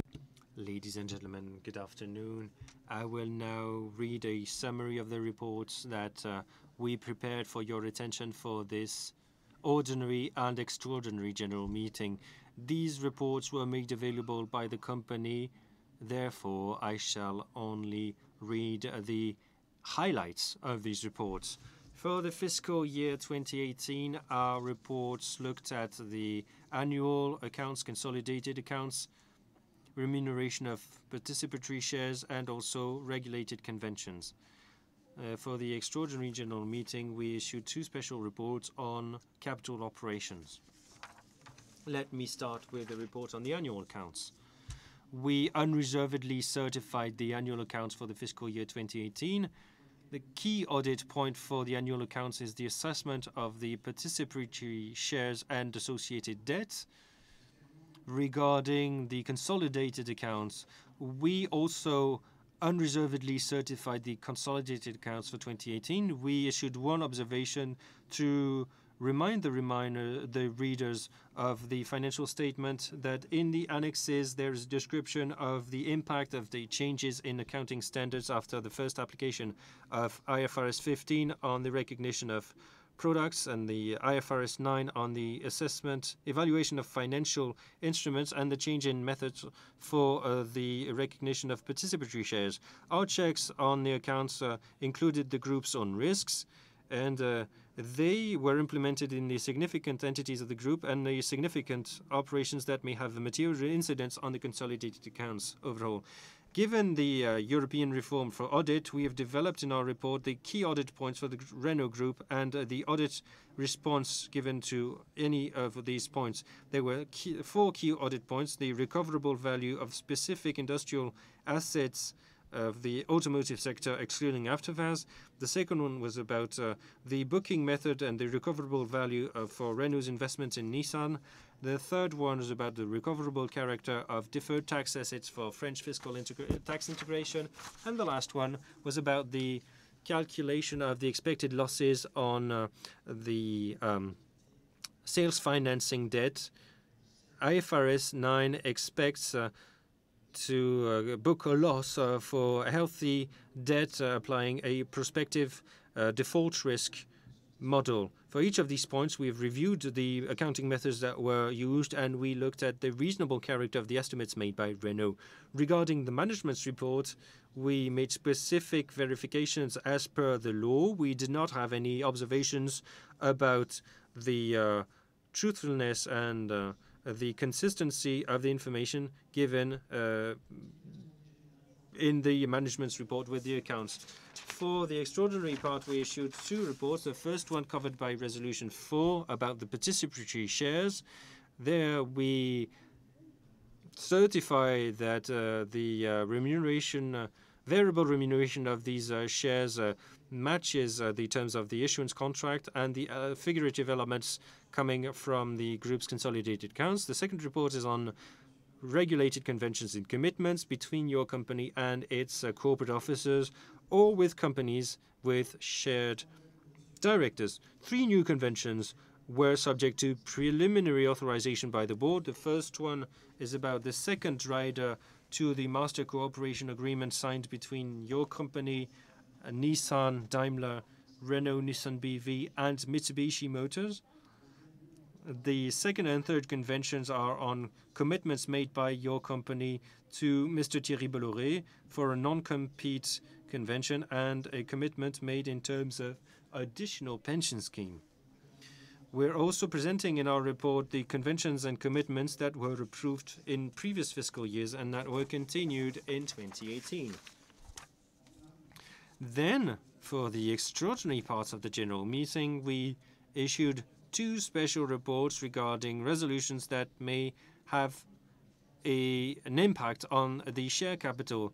These operations are covered by the uh, Code of Commerce, and so we have no specific observations or comments on these operations. Ladies and gentlemen, thank you for your attention.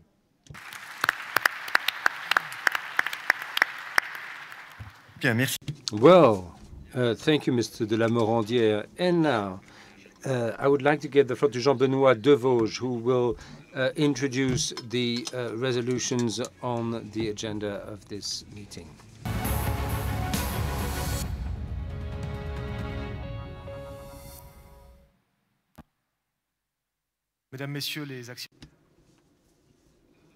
Good morning, ladies and gentlemen. We have as many as 19 resolutions, 17 for the ordinary uh, AGM and two for the extraordinary uh, meeting. In line with legal requirements, the documents uh, for shareholders were made available uh, at the appointed time at the headquarters and on the website. You have in particular the uh, explanations of the resolutions based on the findings of the uh, board of directors, information on directors whose appointment or renewal is on uh, offer, the reports of the auditors, details of the share buyback program, and uh, a table uh, presenting the performance of the company over the past five years.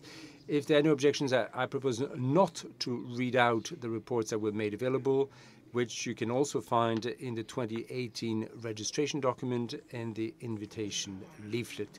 Starting with the ordinary uh, resolution. Re resolution number one proposed to approve the annual accounts for the year 2018 with a profit of 1.1726111191 uh, euros, 1,171 million. This is Renault SA, so the consolidated performance of Renault.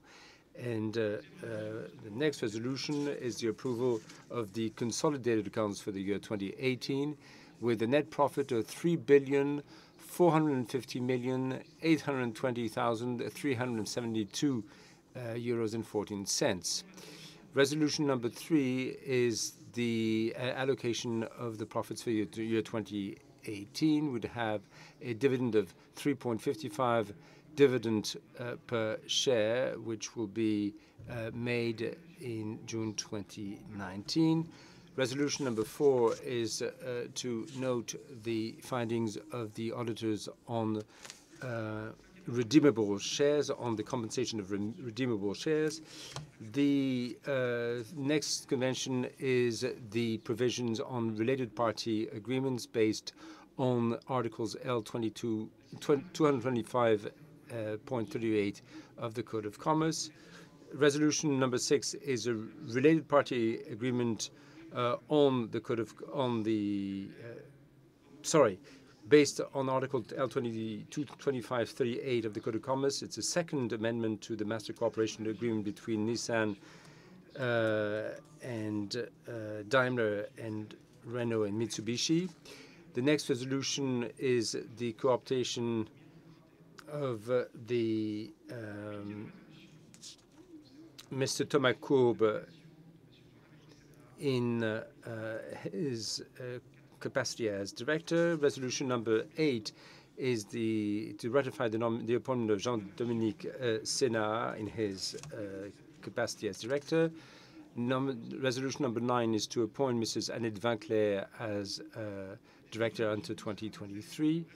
Resolution number 10 is compensation uh, paid to Mr. Carlos Ghosn in his capacity as CEO for the year 2018. Uh, it was told, we told you that the board of directors uh, vote uh, recommends to vote against that resolution. Resolution 11 is the compensation policy for Mr. Carlos Ghosn in his capacity as CEO for the year 2019. Resolution number 12 is the uh, compensation policy or policy compensation criteria for Jean-Dominique Senard as chairman of the board for the year 2019. Resolution number 13 is to vote on the compensation criteria for Mr. Thierry Bolloré in his capacity as CEO for the year 2019. Resolution number 14 is the approval of the non-competition um, clause to the benefit of Mr. Bolloré um, in his capacity as CEO. Resolution 15 regards the uh, pension benefits for Mr. Bolloré, as CEO. Resolution number 16 is to authorize the board of directors to conduct operations on company shares for a period of 18 months for no more than 10% of the share capital. This is to enable the company to implement its share buyback program. This uh, we have now two uh, resolutions that uh, refer to the extraordinary meeting. Resolution 17 is to authorize the board to reduce the company's share capital by cancelling its own shares within uh, a ceiling of 10% of the share capital. And uh, uh, this is based on the previous resolution regarding the share buyback program. And the 18th resolution is to allow the board of directors to grant free shares to company employees or executive officers. Uh, that uh, uh, would be for a period of no more than 38 months and within 2% of the share capital within an annual amount of 0.67% of the share capital. And then the 19th resolution is the ordinary resolution to allow the board to conduct all formalities needed to implement the uh, aforementioned resolutions. Well, thank you, uh, Jean-Benoit, for completing, for discharging this challenging task. The time has come for us to have a debate with our shareholders, and this is when we have a Q&A session, and I believe we're supposed to uh, mark time now.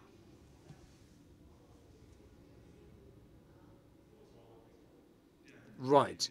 As I was saying, ladies and gentlemen, before we uh, start with the Q&A uh, session, let me tell you that the answers to questions put to us in writing can be found on our website under the heading uh, Annual AGM 2019. Jean-Benoit Devauges will give you instructions uh, for uh, the uh, Q&A session. Thank you, sir. And so to allow as many people as possible to take the floor, we would like you to keep your questions to no more than one minute. We'll find uh, young men and women with microphones around the room. Uh, please remain seated, and if you wish, wish to put a question, just raise your hand. Somebody will give you a microphone, and you will be told when you can speak. And now I give the floor to the chairman of the floor to chair this Q&A session. Thank you, Jean-Benoit. Well, before we uh, start the discussion, let me start with a question from an advisory member of uh, the um, shareholders committee. Uh, we had uh, a meeting of the well, shareholders committee in May. Uh, these days, by the way, are very useful because we can have useful exchanges. In that, on that occasion in May, together with Mr. Bolloré and members of the executive committee, we discussed the activity of the group, the outlook, current affairs, and there was a, a candid exchange, uh, which uh, we believe was very fruitful. Uh, of course, uh, it would be good for such events to continue. they were very lively on the 14th of May, and here has here's a quick video uh, summing up that event. Chers actionnaires, je crois que ce genre de journée euh, assez exceptionnelle euh, très importante. Merci de votre présence, merci de votre implication et de votre fidélité à, à, Renault. Cette rencontre m'a permis de connaître euh, Monsieur Sénard, qui est tout nouvellement arrivé. Je suis très contente de rencontrer les dirigeants de Renault.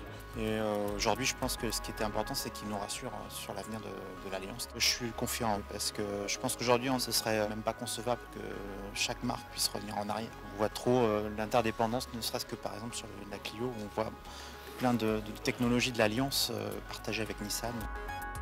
Moi, euh, ce que j'en attendais, c'était aussi de voir comment l'entreprise allait vers le futur. Que ça bouge beaucoup, il y a une transformation numérique, il y a des startups qui vont très très vite. Elle a toujours su euh, surmonter les, obstacles et les handicaps, donc euh, je fais confiance. C'est un pionnier, Renault. il y a 100 ans ou 150 ans qu'on fait des voitures tout de même, donc il ne faut pas se laisser dépasser. Voilà. Well, there you have it. We uh, shouldn't be overwhelmed uh, or overtaken by events. Uh, I would like to give uh, the floor to the representative, Mr. Duval, who represents uh, the Shareholders Committee, the uh, representative advisory committee. He, I believe Mr. Duval is in the back of the room, and I believe he has a question, but uh, someone should give him a microphone. Yes, apparently Mr. Duval's microphone is out of order, so we'll give him another uh, microphone.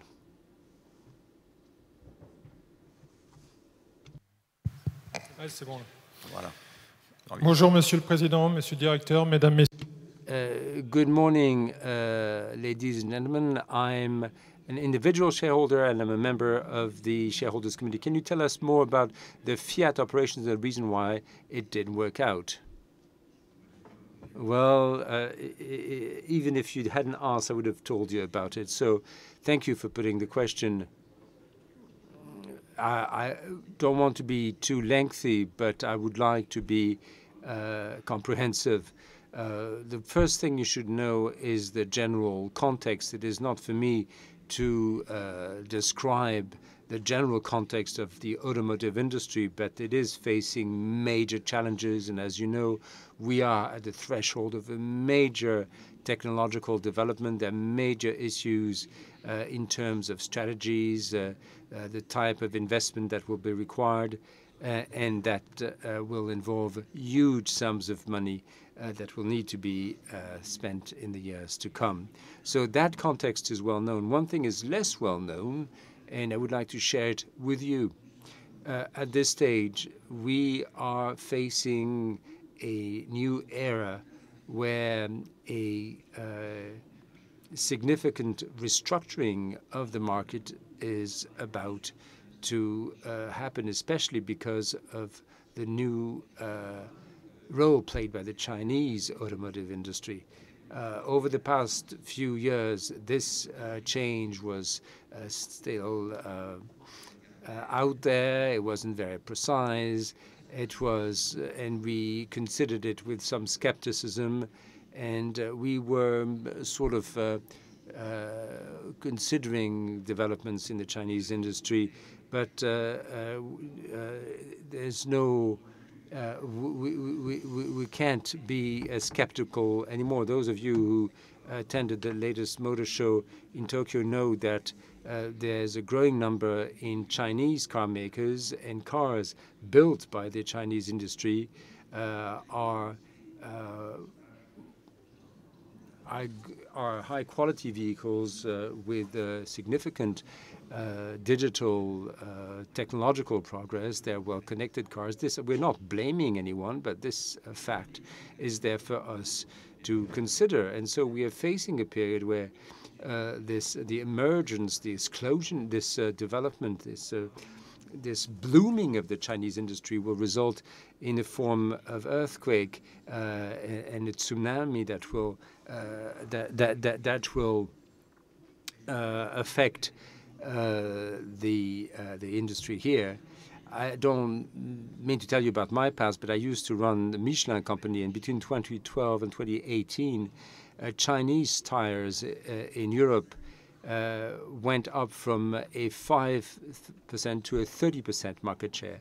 There, in, in, a matter of five years, the market share for uh, Chinese tire uh, grew sixfold. And what is going to happen uh, for the uh, automotive industry is uh, of the same um, of the same kind, and it is well. I have a duty to my shareholders and if I and you would be right to hold it against me if we didn't uh, make the necessary adjustments. Now, uh, we are all facing that same situation, and when uh, the Chinese onslaught happens, we have to be strong enough to uh, withstand it and resist it and be able to keep uh, operating on a um, on an equal footing, on at least uh, a, um, a level playing field. Now, when I was uh, asked to make contact with the leaders of Fiat Chryslers, Chrysler, we did so. We uh, worked with these people. We did some uh, remarkable work, but I realized very quickly uh, that there there were well, the, the, the, there was a, a um, attractive opportunity not just for Renault but for the alliance as the whole. And indeed, uh, I, believe that the two, Renault and the alliance, are inseparable.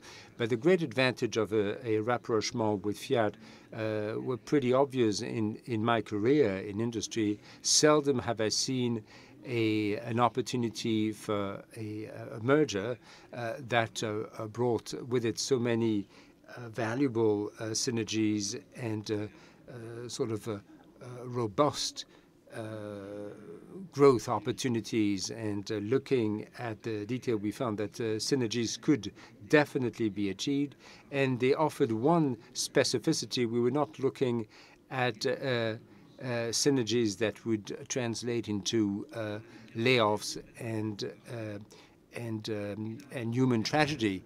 Uh, because I, know what that can be like. But there we were looking at positive synergies. We're looking at manufacturing uh, and production synergies, uh, which uh, would also benefit the Renault platform. So this was uh, a, very promising development.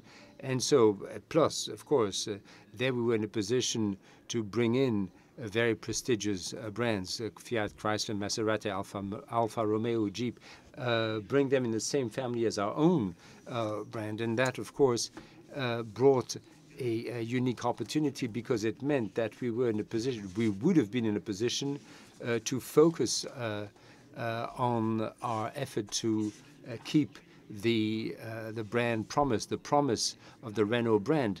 And so we're looking at, of course, the Renault brand, but in a well-defined context, and so we could have been uh, much more focused on that. And so there were many opportunities. I could tell you also about uh, synergies in terms of uh, research, the fact that we could bring our our, uh,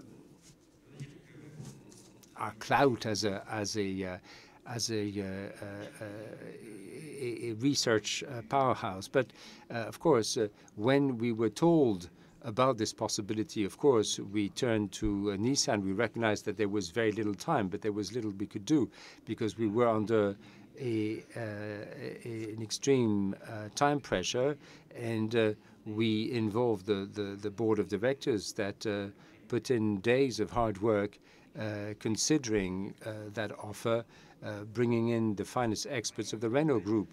And so we arrived at a situation where well, the board of director that could have uh, voted in favor of the first stage of that merger, uh, that of course uh, was a, a non-binding commitment. Uh, it had to be, of course, uh, to be completed with additional work uh, in September and turn that into a binding agreement.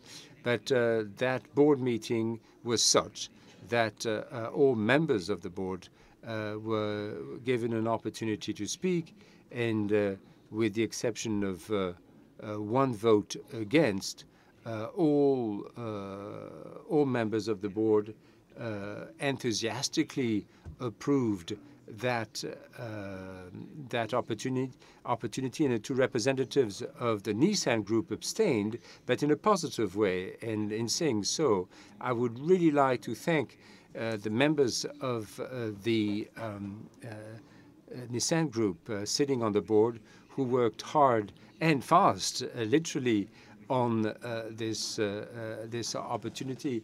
They, they recognized that this was certainly to the benefit of Renault. They didn't know what it held for uh, Nissan, although I believe there was something to be gained by Nissan as well. But at least that opened the way for the first uh, validation of that uh, merger or that offer. It just turned out that uh, the uh, representative of the French uh, government did not see eye to eye with us, and uh, and so the vote um, couldn't happen after all, which I must say I find extremely unfortunate. Of course, a lot has been said about this in the media. What does the future hold? We do not know. What I do know is that uh, what I just presented here in the general context, and indeed what could have, uh, what this operation could have uh, uh, brought to the Renault Group, uh, and indeed members of the group uh, were looking at this opportunity very positively indeed,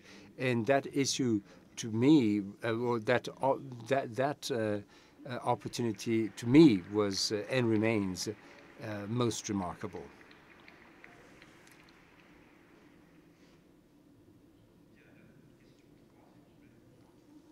Question number three.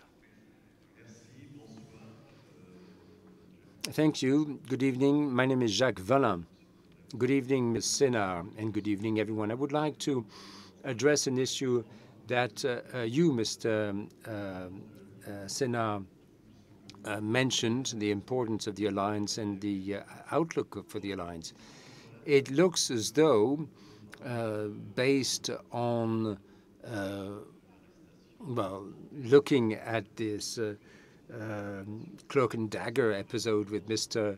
Ghosn's arrest and uh, the more recent um, fiasco of the Chrysler, Chrysler Fiat uh, operation, it looks as though uh, Nissan and Renault do not see eye to eye regarding the alliance. At least that's what we can read between the lines. And so the question that I have is how do we believe, do you believe we can uh, arrive at a new modus vivendi uh, with Nissan on the alliance? Thank you, sir, and uh, thank you for the, the question. I did mention this uh, uh, at the beginning of this meeting, and I would like to confirm here once again, but uh, of course, Thierry can say so as well. Um, the alliance um, is working pragmatically and actively uh, in the field, the Renault teams and the Nissan, Nissan teams um, uh, have uh, benefited from the alliance. We've seen the results. Of course, we can always improve on operations. We can make the alliance more fluid. We can make uh, our work more efficient. But the work is right there. The alliance is uh, producing results.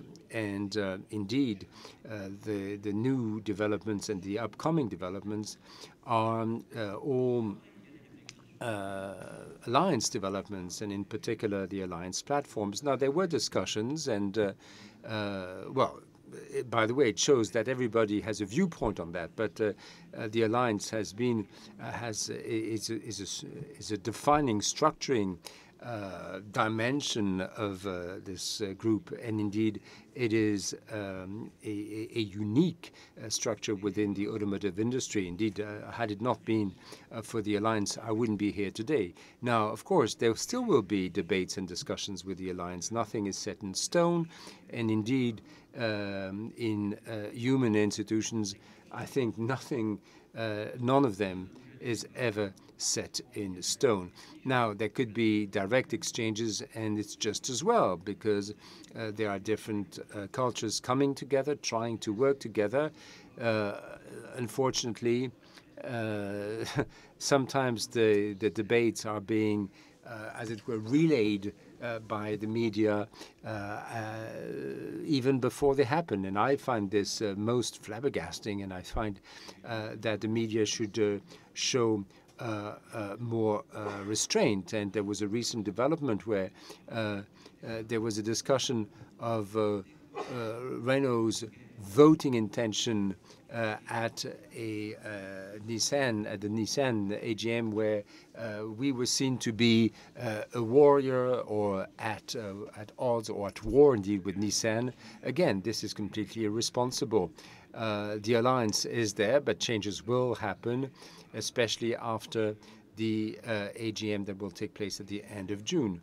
And I can only accept uh, this uh, development because it means that there will be more transparency, there will be um, a new uh, form of uh, ethics running the uh, the alliance, and basically this revolves around the work of a number of committees working under the board of directors, uh, uh, just like we have here at Renault. But of course, uh, these uh, committees arrive at uh, recommendations that usually then taken up by the board. And in my capacity as a board member at Nissan, I voted in favor of that.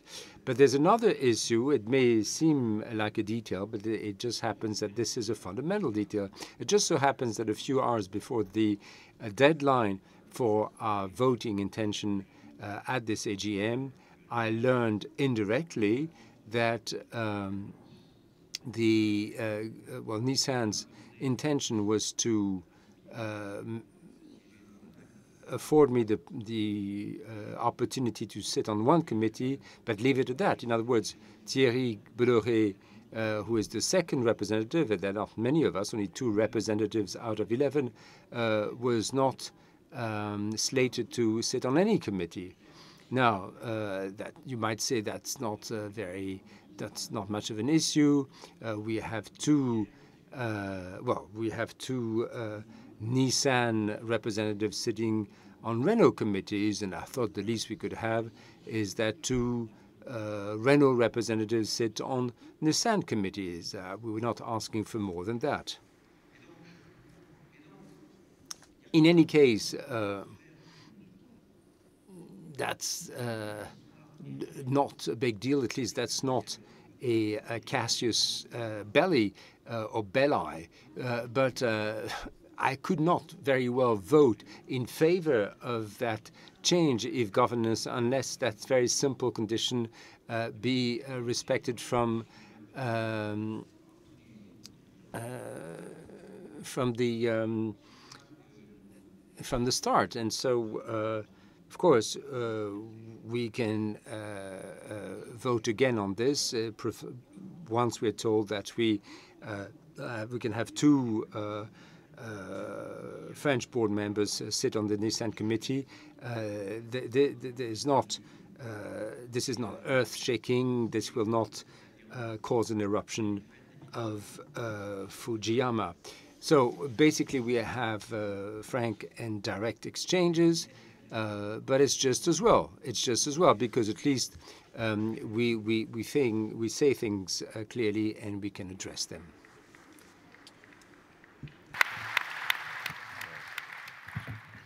Donc, euh, je... So now maybe I will go upstairs to number four. I'm sorry for the others. We'll get to you. Sign number four, please. But there's nobody there. Okay. Well, if there's nobody for number four, maybe we can take three again. Going back down and then back up again.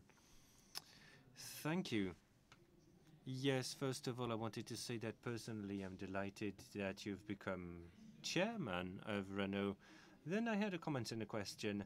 You've just explained that a shareholder with 15% of Renault can block a fundamental project, and yet we have the impression that you, with 45% of Nissan's capital, are having difficulties.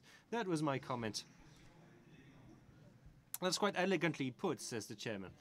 Then to echo the Fiat matter, I think it was to be a marriage of equals. So could you give us examples of marriages of equals, especially in the automotive sector, that have worked? At any rate, I wouldn't want to, thank you, I wouldn't want for Renault to end up like Technip or Lafarge or even like Essilor, and to even go back in time uh, like Pechiney without mentioning the competition with the Chinese. Well, thank you for this question. It was quite interesting, and I'll tell you exactly what I think about it. Uh, for the first aspect, uh, we're having difficulties. Well, you know, as part of the agreements that we have between Renault and Nissan, uh, uh, well, we have the RAMA. So, yes, we're having difficulties. But um, let me tell you that I'm not responsible for the agreements that were signed in 2015, which very significantly reduced Renault's influence over decisions made at uh, Nissan's board. I won't get into details, but to me, this is a situation that I think to be highly based on circumstances. I own it because I've inherited it, but I do not uh, find it quite natural to put things simply. I wasn't the chairman who led to this, so I won't be the chairman who will lead to a further reduction of Renault's role in the alliance, in particular uh, within uh, Nissan, because I think it would not be acceptable, and I think that you would probably right to hold it against me if you were to discover it someday. On this matter, I think that I've been very clear. Regarding the other aspect, and you're asking a quite valid question. In, uh, in the various criticism that you could hear about this now aborted project, uh, what you discussed was a fairly strong piece of criticism. Well, it so happens that I agree with you. Many so-called mergers of equals do not work out. Even uh, more equivalent attempts in the automotive world have not always been very successful or glorious. But let me tell you that what little experience I have in industry, I had to go through a few storms. You were very kind to mention the Pechiney merger in which I was highly directly involved, and I was not the only one. Our CFO then was one of my best uh, management controllers, and um, I'm happy to have her here. And uh, she knew it from the inside, and so now I know what you need to do and what you need not to do. Believe me. And the reason why I'm so vigilant about such operations is precisely because I know that they can lead to consequences which if uncontrolled, can be highly detrimental. I won't conceal that because it's a reality. However, now let's rise up of this debate. I know that these operations can happen when cultural matters are easy to deal with. And in this case, I think that all conditions are met for this cultural bond to be created naturally the work between the teams has been uh, done uh, very in depth uh, uh has proven it. Well, you may say that uh, you can never be 100% sure. I agree, but you can be very vigilant, you can have experience, and you can bring things under control. You know that very often these matters are all about people, men and women. So I wanted to say that I have a few certainties about this, and I, I'm ready to defend them. In this proposal, which is no longer on the table as we speak, there was uh, an actual possibility to make it successful, to make it a good counterexample to what you said. That's what I had to say about this. Let me also say that this was the first time, really, that there was a possibility to create a European-based group, a European champion, at a time when people keep complaining about the lack of existence of such champions. This would have been a perfect example for France, for Renault, but also for Europe to prove that we're able to do something together.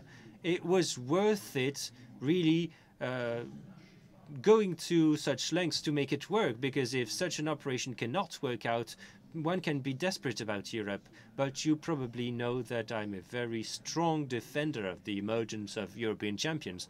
The context that I described earlier, before I broached the subject, deserved such a, shot. Well, now, number 10, please. Number 10? Oh, sorry, number 1.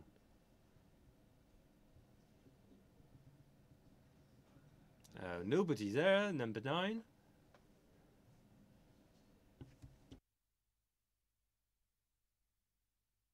Thank you, Mr. Chairman Denis Branche from Phitrust.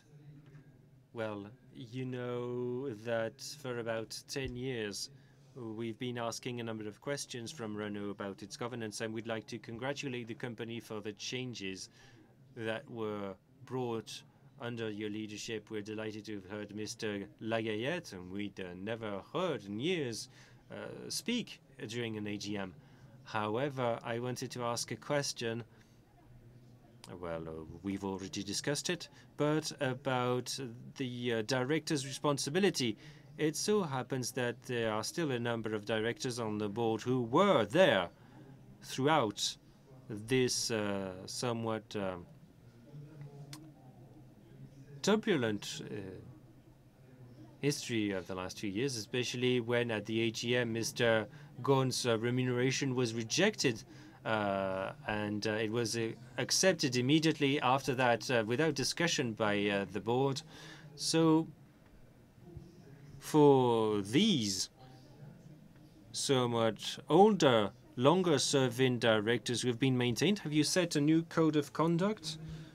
Similarly, uh, we asked a written question about potential responsibility for E&Y as auditors. They've been serving as auditors for a long time, and either they did not see or refused to see a number of things that were discussed, and which, by the way, led to uh, the initiation of certain legal proceedings. Thank you. Thank you for both questions. I'm going to answer them. I'll answer the first one and then I'll let Philippe Lagayette take the second one. But uh, I have major things to say about the first one. First of all, I have one major principle in life, which is that of respect for people. In the specific case of a board of directors, very often decisions are collective. Consequently, it will not be my idea to pinpoint this or that person for individual responsibility for this or that matter. I still think that a board's responsibility is collective. That is number one. Number two, I believe, uh, based on my management experience in enterprises, and that applies to all team management teams, including a board, it's very difficult to judge the performance a, of a team if you free yourself of the way it is being led, if you get my drift. Consequently, as far as I'm concerned, I'll take responsibility for leading the board of directors of the group in the way that I think to be the right one. In this context, I said it earlier, I do intend to make people more accountable. As they should. Today, I have no specific reason, especially for the people who you have mentioned. Uh, I have no reason to think that they do not fundamentally comply with this code that you would like to see strengthened, because I think that deep within themselves they have exactly the same feelings as I. So in this board of directors, I will take my responsibilities regarding this, but the current composition of the board and with its changes, as you could notice, there are a few changes. This board of directors in the next few months and years will be specifically careful about these matters of ethics. I will see to it and I will take full responsibility if necessary, if such was not the case. I hope I have now answered your question.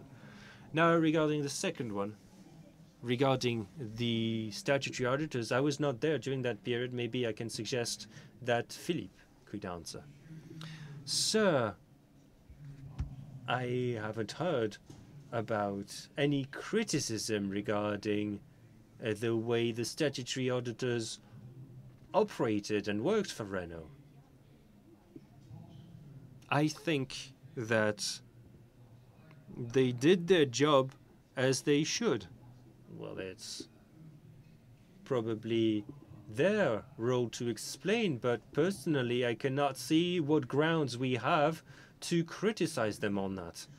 Let me add that what we are doing, what the CARE committee is doing, that what which was approved by the board, is to apply the rules in terms of rotation between auditors. You may have seen that three or four years ago, one of the statutory auditors changed, and I will tell you that the CARE committee uh, has already launched a, call for proposals to recruit a new auditor within a year. So we are quite aware of the fact that rules need to be applied when it comes to auditors, and that's what we are doing. So I think that the chief financial officer can confirm this fact. Ladies and gentlemen, dear shareholders, time flies and we've Uh, answered a very important question, so maybe I will ask you to speed up, and maybe we'll take two questions in succession so that we can answer them so that we can then move on to a vote on resolutions because there are many of those. So maybe I'll take questions four and seven. It's arbitrary, but that's how it is. Dominique Chauvin, I'm a forward-looking scientist. I asked a question at the Techno Center about plug-in hybrids.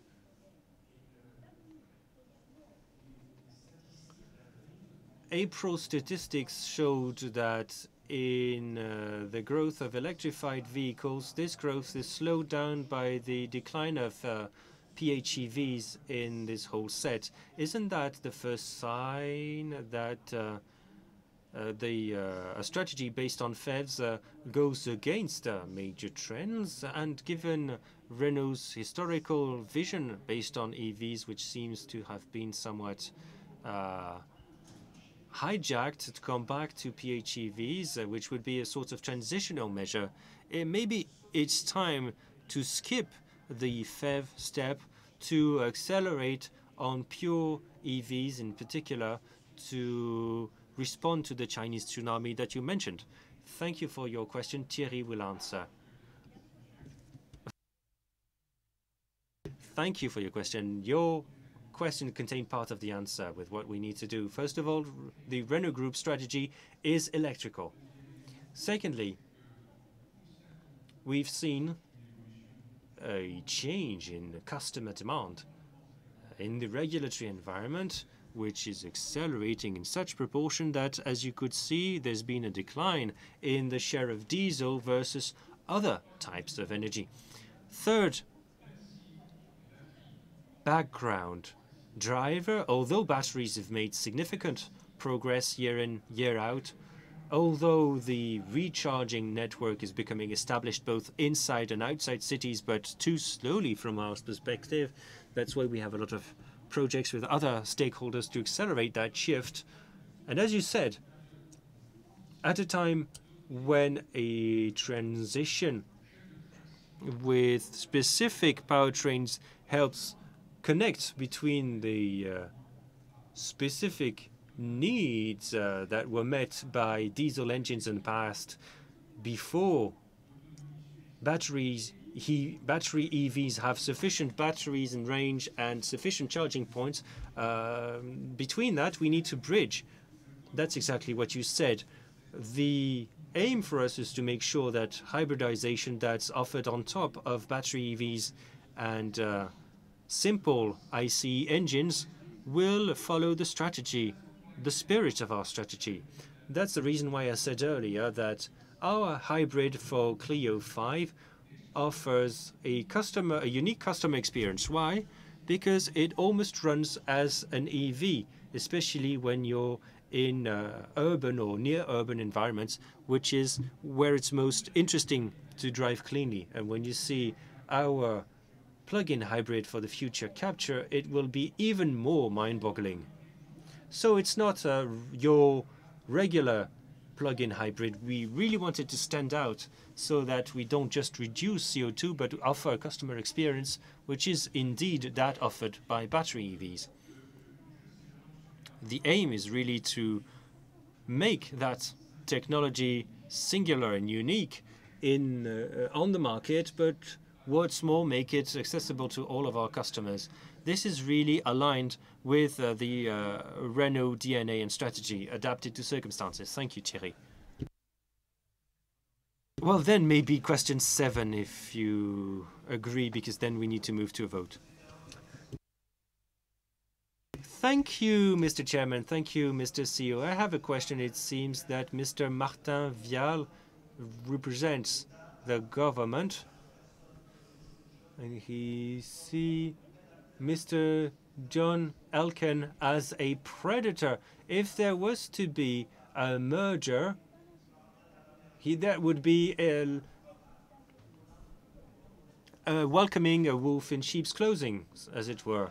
So could you reassure us that if there was to be a merger, then you would still be there? Well, if that can reassure you, well, I, all the more, all the better. Well, anyway, that that is highly notional or theoretical because once again at this stage the uh, merger talks have stopped But let me answer yes. I will still be there. And it's not a habit for me to just sit there passively, to be friendly looking, but uh, entirely mute. But once again, it's all very notional. But if I can reassure you retroactively, retrospectively, I have no worries about that. And anyway, when it comes to wolves, I've seen worst wolves in my existence.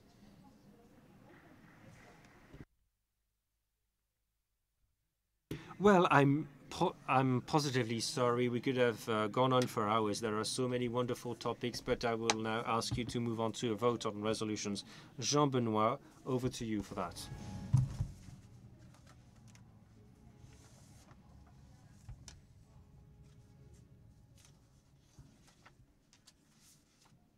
Ladies and gentlemen, dear shareholders, we'll now move to a vote on resolutions. If you agree, I will only read the title of each resolution in the notice of meeting instead of a uh, comprehensive reading. First, please become aware of the voting procedure with your voting devices.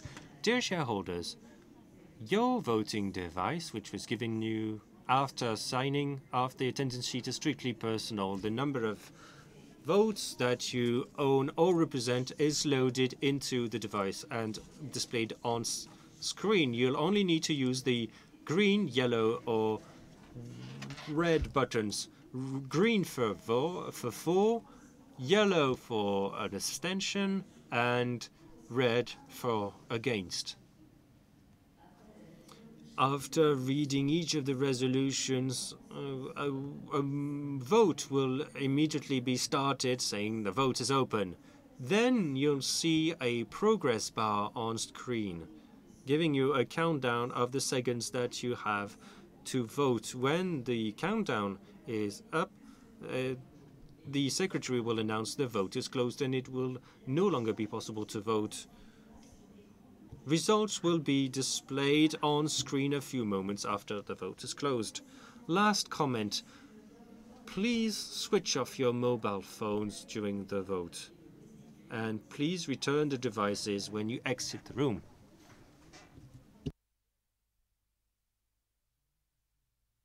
We will now move to a vote. The total shares held by shareholders present or represented is 132 million 39,031 uh, shares. 132,031,930 uh, shares, or 53.53% uh, of votes uh, for an extraordinary meeting. The quorum necessary for valid deliberation by the AGM, both in, in ordinary and extraordinary sessions, is reached. For the ordinary part, first resolution approval of the annual financial statements for the fiscal year ended December 31st, 2018. The vote is open.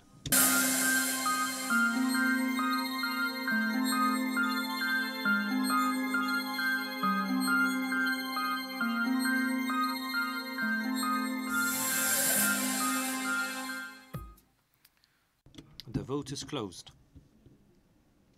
This resolution is adopted with 90.73% of votes.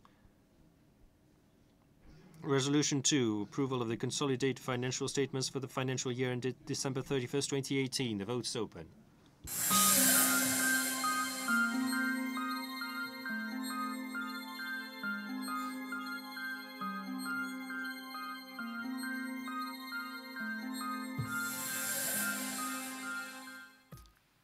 The vote is closed. The resolution is approved with 90.65% of the votes. Third resolution, allocation of net profits for the financial year ended December 31st, 2018, setting of the dividend and the dividend payment date. The vote is open.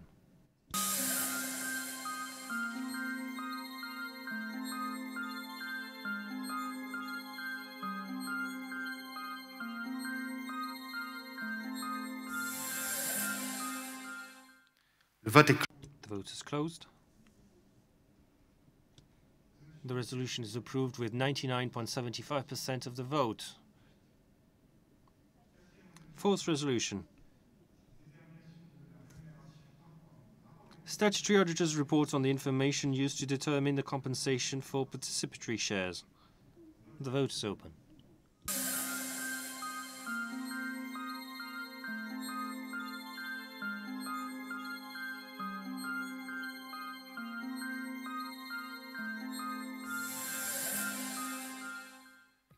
Le vote est clos. The vote is closed. The resolution is adopted with 91.04% of votes. Resolution 5. Approval of the statutory auditor's special report on related party agreements and commitments governed by Articles L22538 ad sec of the French Commercial Code. The vote's open.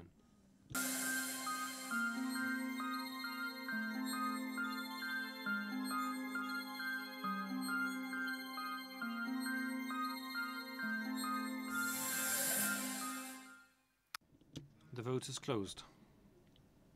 The resolution is approved with 88.33% of votes. Resolution 6. Approval of a related party agreement governed by Article L22538 of the French Commercial Code, second amendment to the Master Cooperation Agreement entered into between the company Nissan Motor Co. Limited, Daimler, Renault, Nissan BV, and Mitsubishi Motors. The vote's open.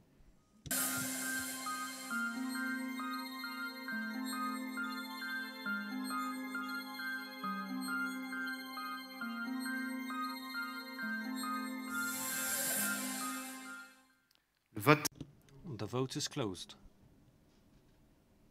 Approved with 90.66% of the votes. Resolution 7. Ratification of the co-opting of Mr. Kumar Courbe as director appointed upon proposal of the French state. Before we move on to a vote, let's watch a short profile of Mr. Courbe.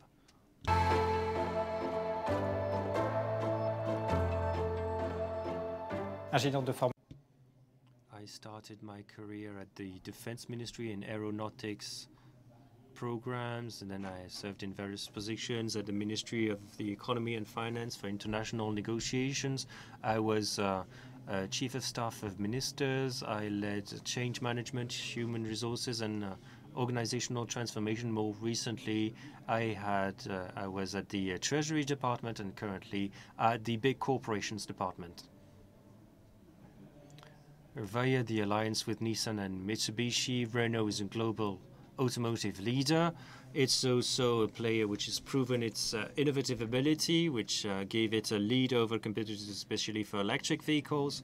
This alliance created value for its members, and last but not least, Renault is an iconic company for France and its international reputation. The government can help Renault first by implementing policies in France that will enable Renault to work in an in a favorable economic environment to promote its development, and most specifically in the automotive sector, the government has a, uh, an automotive competitiveness roadmap that was developed by Renault and other companies and with trade unions that will help implement transformative products, projects on connected and autonomous vehicles, on competitiveness uh, actions that companies need in the field. And these measures will be made available to Renault to en enable it to grow in France and abroad. The vote's now open.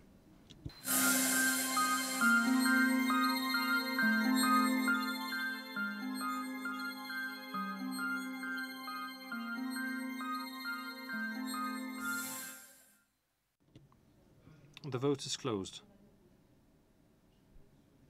This resolution is adopted with 98.52% of the votes. Well, congratulations to Mr. Courbe. Eighth resolution, ratification of the appointment of Mr. Jean-Dominique Senard as director. The vote's open.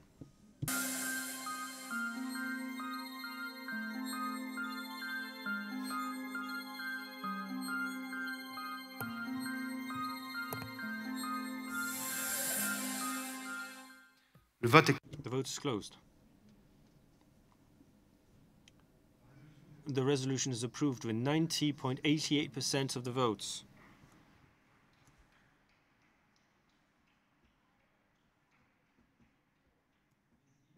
Thank you so much for your trust. Thank you. Ninth resolution, appointment of Ms. Annette Winkler as director. Before we move to the vote, let's watch another short video profile of Ms. Winkler.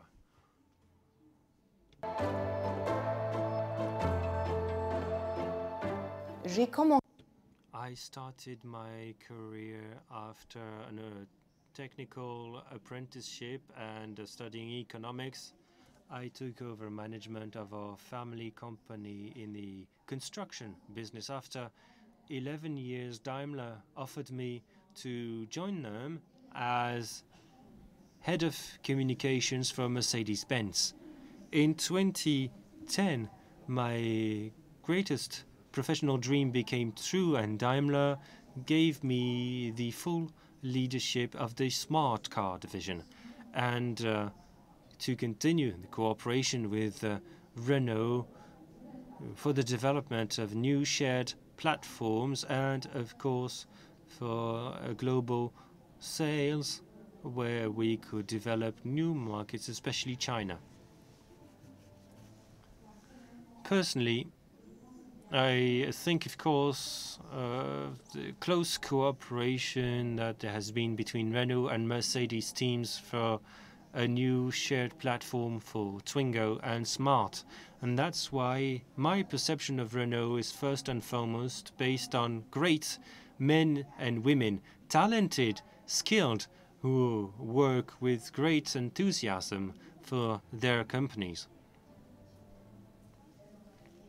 I would greatly like to use all my energy to share my experience with the Renault teams. The vote's now open.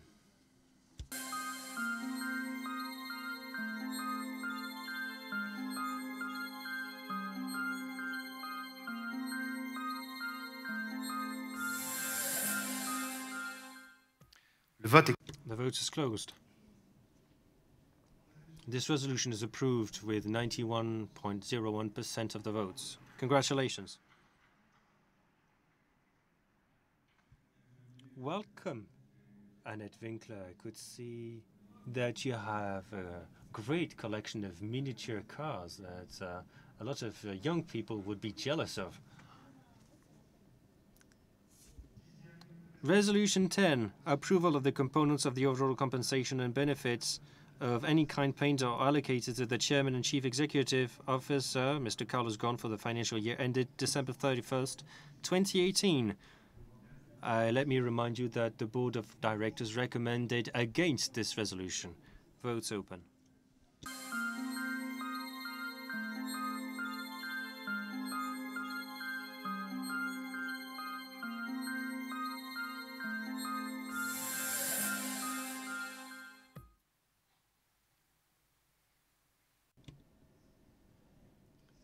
This resolution is rejected uh, by 11.29% of votes. Resolution 11. Approval of the principles and criteria for determining, allocating, and awarding the components of the overall compensation and benefits of any kind attributable to Mr. Carlos as Chairman and CEO for the fiscal year 2019. The vote's open.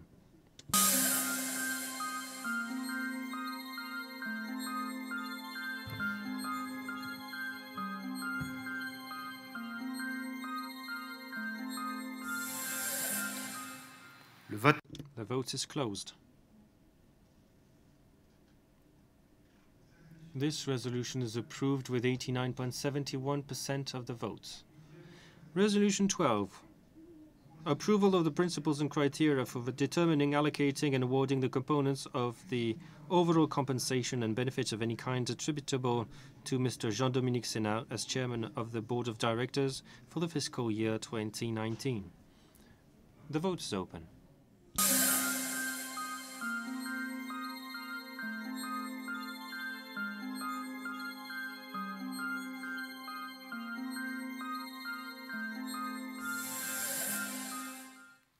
The vote is closed. This resolution is approved with 91.01% of the votes. Resolution 13. Approval of the principles and criteria for determining, allocating and awarding the components of the overall compensation and benefits of any kind attributable to Mr. Thierry Bolloré as Chief Executive Officer for the fiscal year 2019. The vote's open.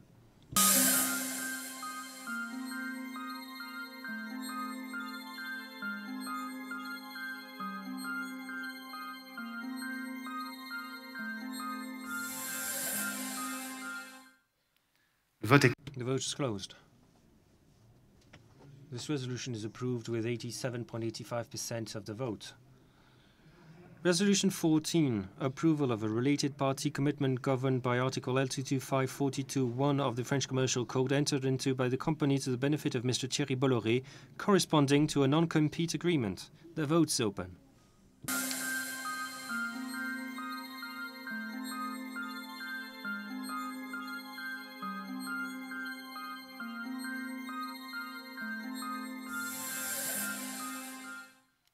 Vote. The vote is closed. This resolution is approved with the 89.93% of the votes. Resolution 15. Sorry, I'm getting carried away. Approval of a related party commitment governed by Article L225-42-1 of the French Commercial Code entered into by the company to the benefit of Mr. Thierry Bolloré for a top-up pension scheme. The vote's open.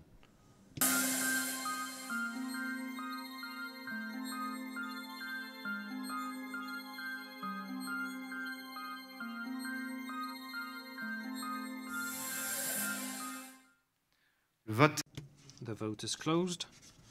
The resolution is approved with 87.79% of the votes.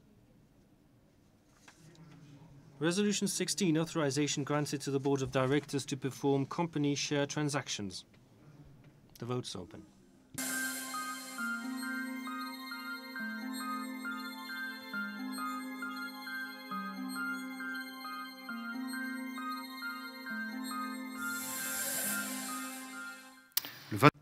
Vote is closed. This resolution is approved with 90.86% of the votes. Resolution 17 for the extraordinary part of the AGM. Authorization granted to the Board of Directors to reduce the company's share capital by cancelling treasury shares. The vote is open.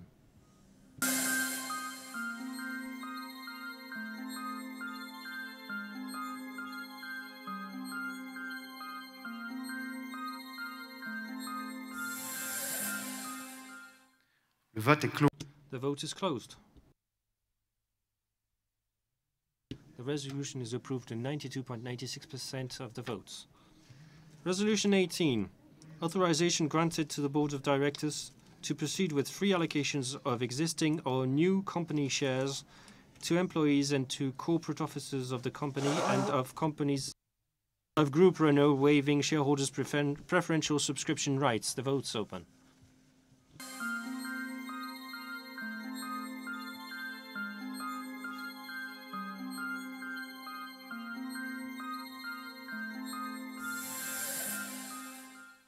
Le vote. The vote is closed. This resolution is approved with 88.14% of votes. 19th resolution, powers for formalities. The vote's open.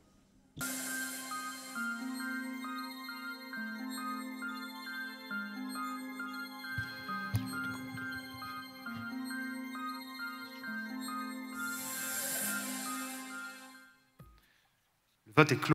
The vote is closed. This resolution is approved with 91.20% of the votes. All of the resolutions on the agenda were subject to a vote. Thank you for your patience, and I will now give the floor to our chairman to close this meeting. Well, thank you so very much for your votes, which were very positive. It's very encouraging. On behalf of the board of directors of Thierry Bolloré and the whole Renault team here and myself, I would like to thank you for attending this general meeting with your very relevant questions. Thank you. And now let's move on to um, the lobby for refreshments.